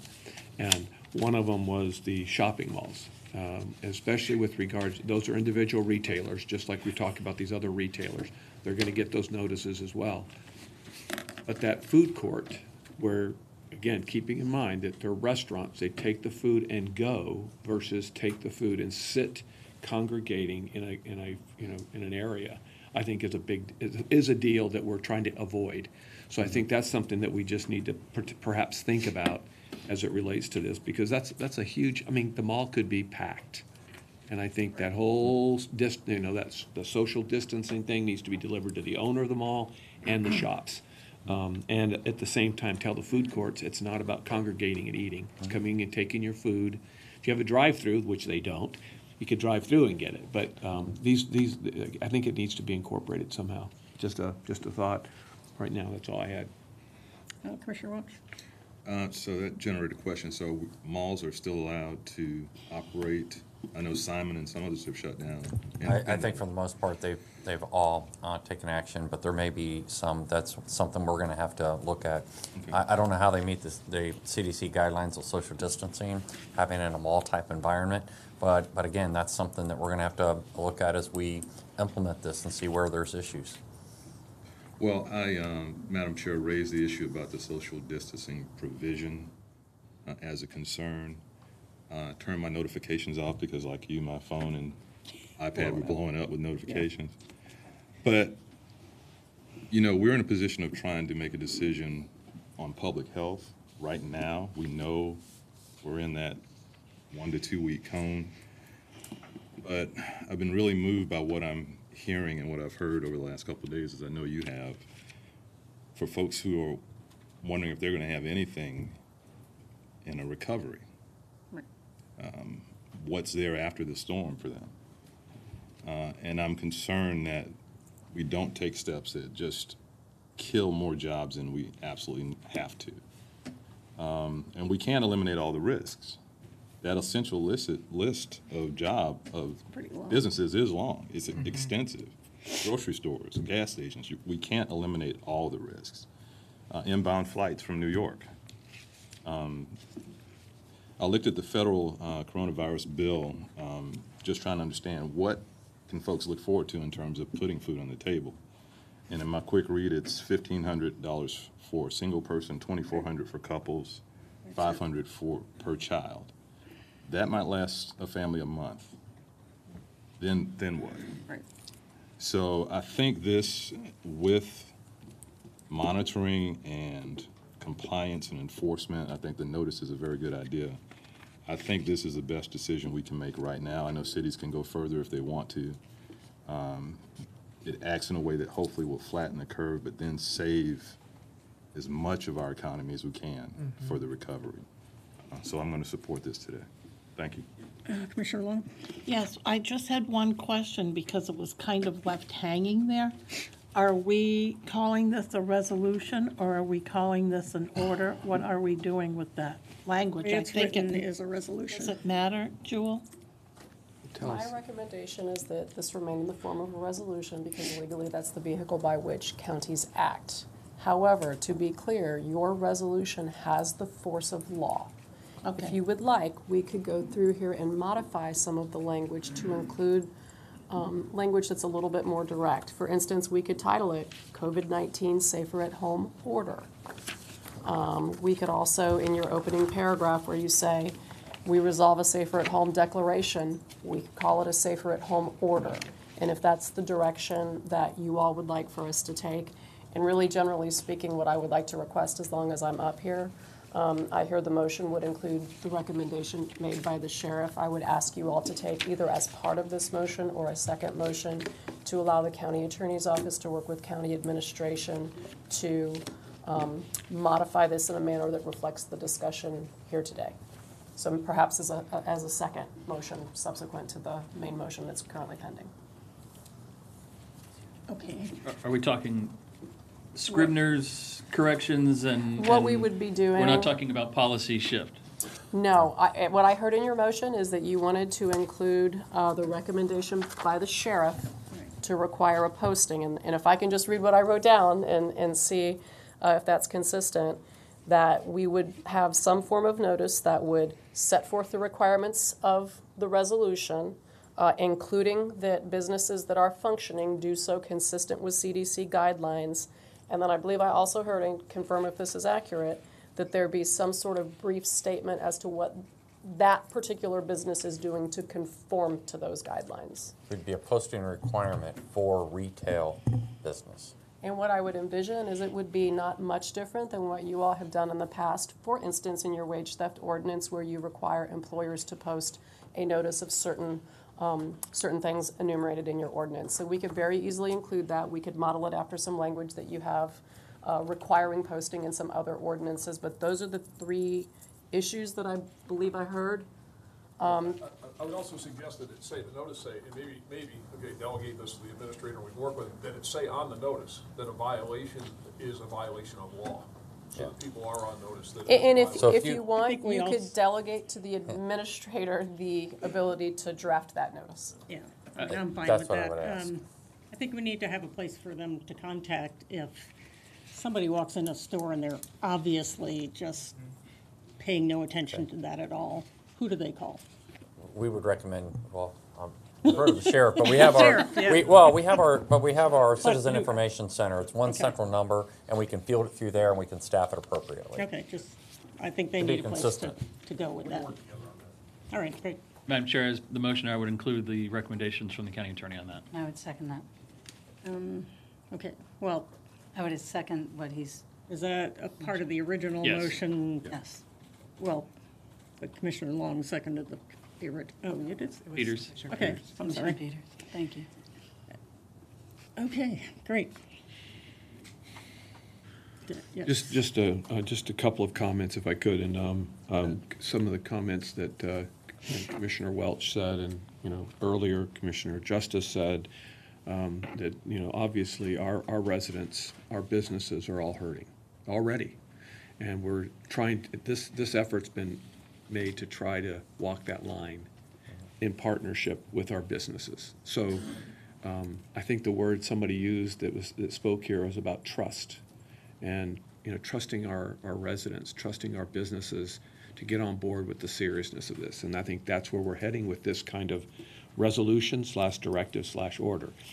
So, I, I mean, I think that's critically important. I do also think that somewhere down the line, and I, I said at the very beginning, we've had, heard from a couple of people, tracking numbers and how that relates to ratcheting up or ratcheting down, entering in this, uh, we're gonna be watching this carefully. I mean, you know, it's like, oh my gosh, the numbers are exploding, or they're staying pretty level. The, the, the, the things that we're doing are working. I mean, it's gonna be really important to figure out what we're following, make sure we're all on the same page and our residents are on the same page. Um, and, uh, again, I would beg and ask all of our residents, please, on the recreation front, be smart about it. We're allowing boats to go out there. We're allowing people out in the, in the parks, on the trails. Um, I'm sure there are some people that are walking along the beach front between the waterfront down there that are trying to just stay apart from each other. They're not congregating in the parks, they're not congregating on the beaches. They're doing the smart things that we've been asking them to do. Please keep doing that so that we don't have to do anything else with that. Um, and then the, the two final things I would say is, um, that communication, uh, meth- messaging, I, I just, I'm just urging you, from my perspective, to have a face that communicates with our residents daily on the challenges that we're going through of the day and the things that are going on that day. Um, maybe it's every other day, whatever, but I strongly think that communication piece is critical. Um, and then finally, um, we've heard it from a couple people today about budgets, about our budgets, about our willingness to share in the pain. Um, and there's going to be some of those ramifications coming. Um, there's no doubt that we're going to get hit. We've already been hearing from people about property tax relief, which that translates to less income, that translates to everybody kind of weighing in. I, I remember the last time, 10 years ago, this went through, we, in Dunedin, we did a survey of our, of our employees and said, do you want cuts or do you want cuts in salary so that we're all sharing in it, or do we want cuts in personnel? And it was always cuts in salary so that we're all sharing in it a little bit. I'm not saying that's the conversation for today, but I do think there's, me- there's, there's some uh, conversation that we're going to be having to have on that front.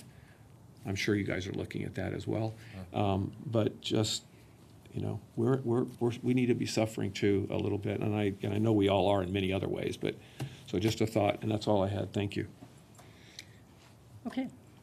Um, We have a motion, sorry, Commissioner Long. I just have one comment that I would like to make to some of the comments that have been made here and the ones that we're getting on our email. For anyone to suggest that we are not taking this seriously, that we don't understand or not sharing in the pain is not only outrageous, it is personally offensive. I cannot tell you how deeply every one of us feel the actions that we are here, sitting here today, taking.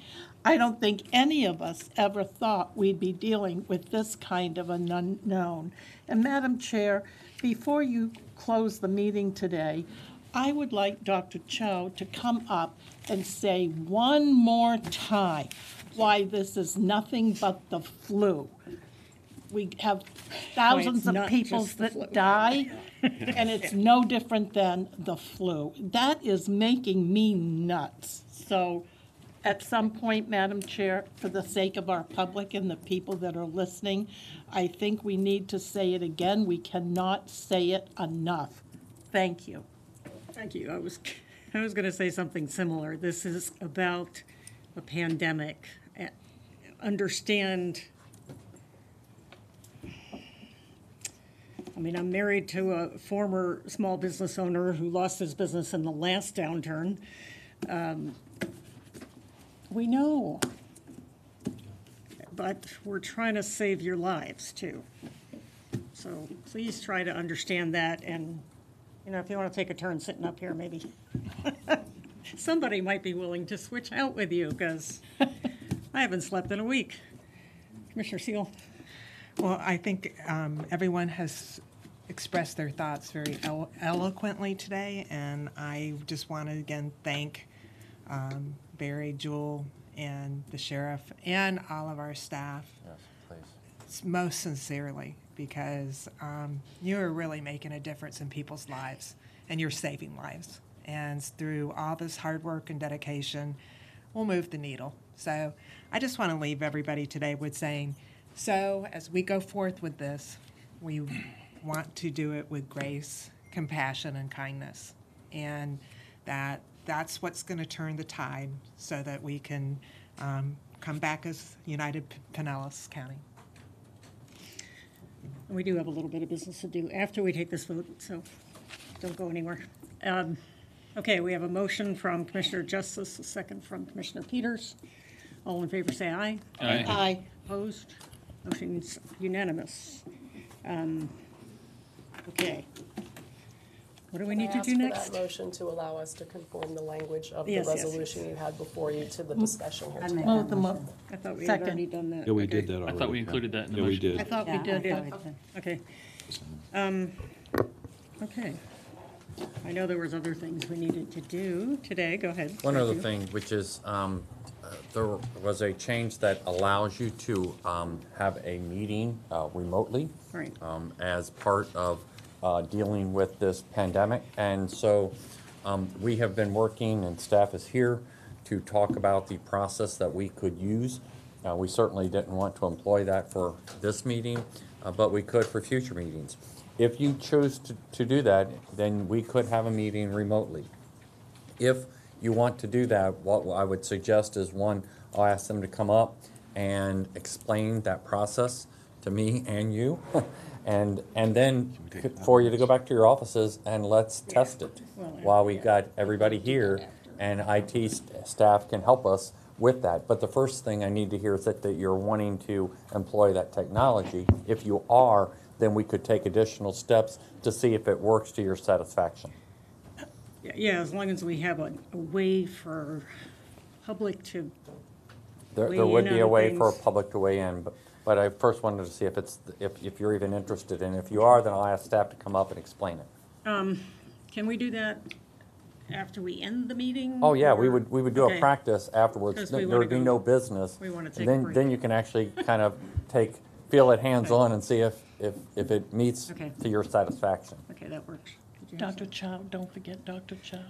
Anybody else for, right- Dr. Choe, remind us one more time why we're here. I'm sorry, but No. I'd be happy to reiterate that uh, some of the messaging, I, I lo- I love the discussion here. Uh, I can't envy the position you have as policymakers and decision makers. Um, but this is serious. Uh, this is novel. We've never seen anything like this again since 1918.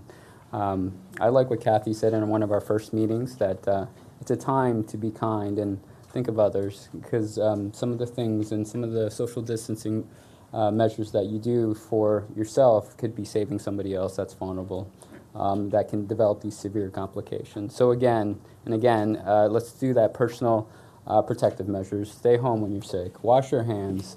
Um, cough, uh, cough into your elbow, um, and, and practice that social distancing. Uh, no more than 10 people um, in a gathering, uh, six feet apart. So I appreciate uh, the time and the opportunity to reiterate that message.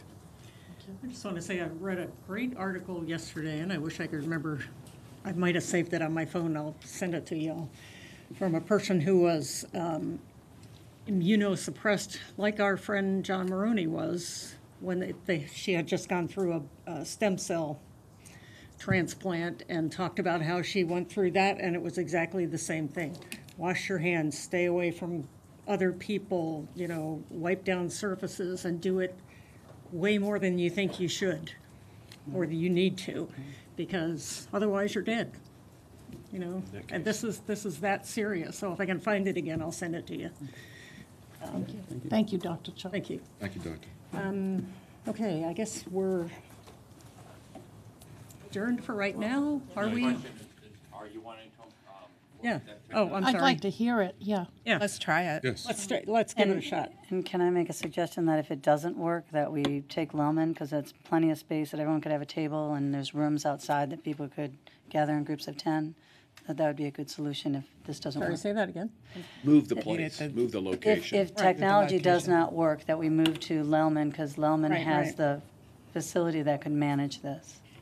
As long as we took all the, or the equipment and could hook it up there and leave it for a while. Just a suggestion. we could do Yeah, that. that, that is a good room, Come on but up, guys. it's a lot of setup and takedown if we don't have to. So I'll let them explain the technology for your benefit. Thank you. Good morning, Commissioners. Brian morning. Zomel, Office Morning. of Technology Innovation. Jeff Rohrs, our CIO. Um, We've been working the last week uh, between BTS, OTI, Marketing Communications, and Legal to come up with a process for you guys to run a board meeting remotely. Um, We have a a webinar-style uh, remote solution that we can use to do that. Uh, It would cover all the statutory requirements for a board meeting. Um, And we believe that we at least want to try it uh, for the next meeting and maybe test it out today with you before you leave uh, to see that it's going to meet everybody's needs for, for a board meeting. Can I ask, oh, Yes, go ahead. So this runs on the Mac, right? No, I'm sorry. Well, yes, on your iPad. All platforms. We all, we all have, okay. So we all have individual Not laptops? on the iPad? Oh, Oh, talking laptops. okay. I Well, only have a I would Mac. like to separate that into um, a couple uh, Okay. uh, Okay, groupings. maybe we can, but let's do this after Yeah. we take a break. But We just- can adjourn the meeting and just, because We're going to get. there's going to be lots of questions, Okay.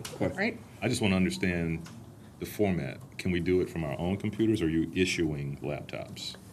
So for, for the commissioners, we envisioned issuing you laptops specifically for that, which would free up your iPads and other devices for viewing documents, so you're not using the same device to do both. Uh, for the, for the Oh, okay. public participation, I Makes just wanted to make a quick statement on that. On the public participation side, we would envision using both a telephonic option, telephone, and a technology option as well. So we would satisfy folks that don't have the technology necessarily to do it.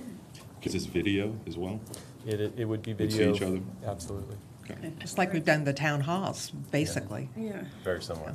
Question, uh, and I, and I, I- I was asked yesterday, and I just have been remiss to bring it up, and I see a young lady over in the audience uh, signing.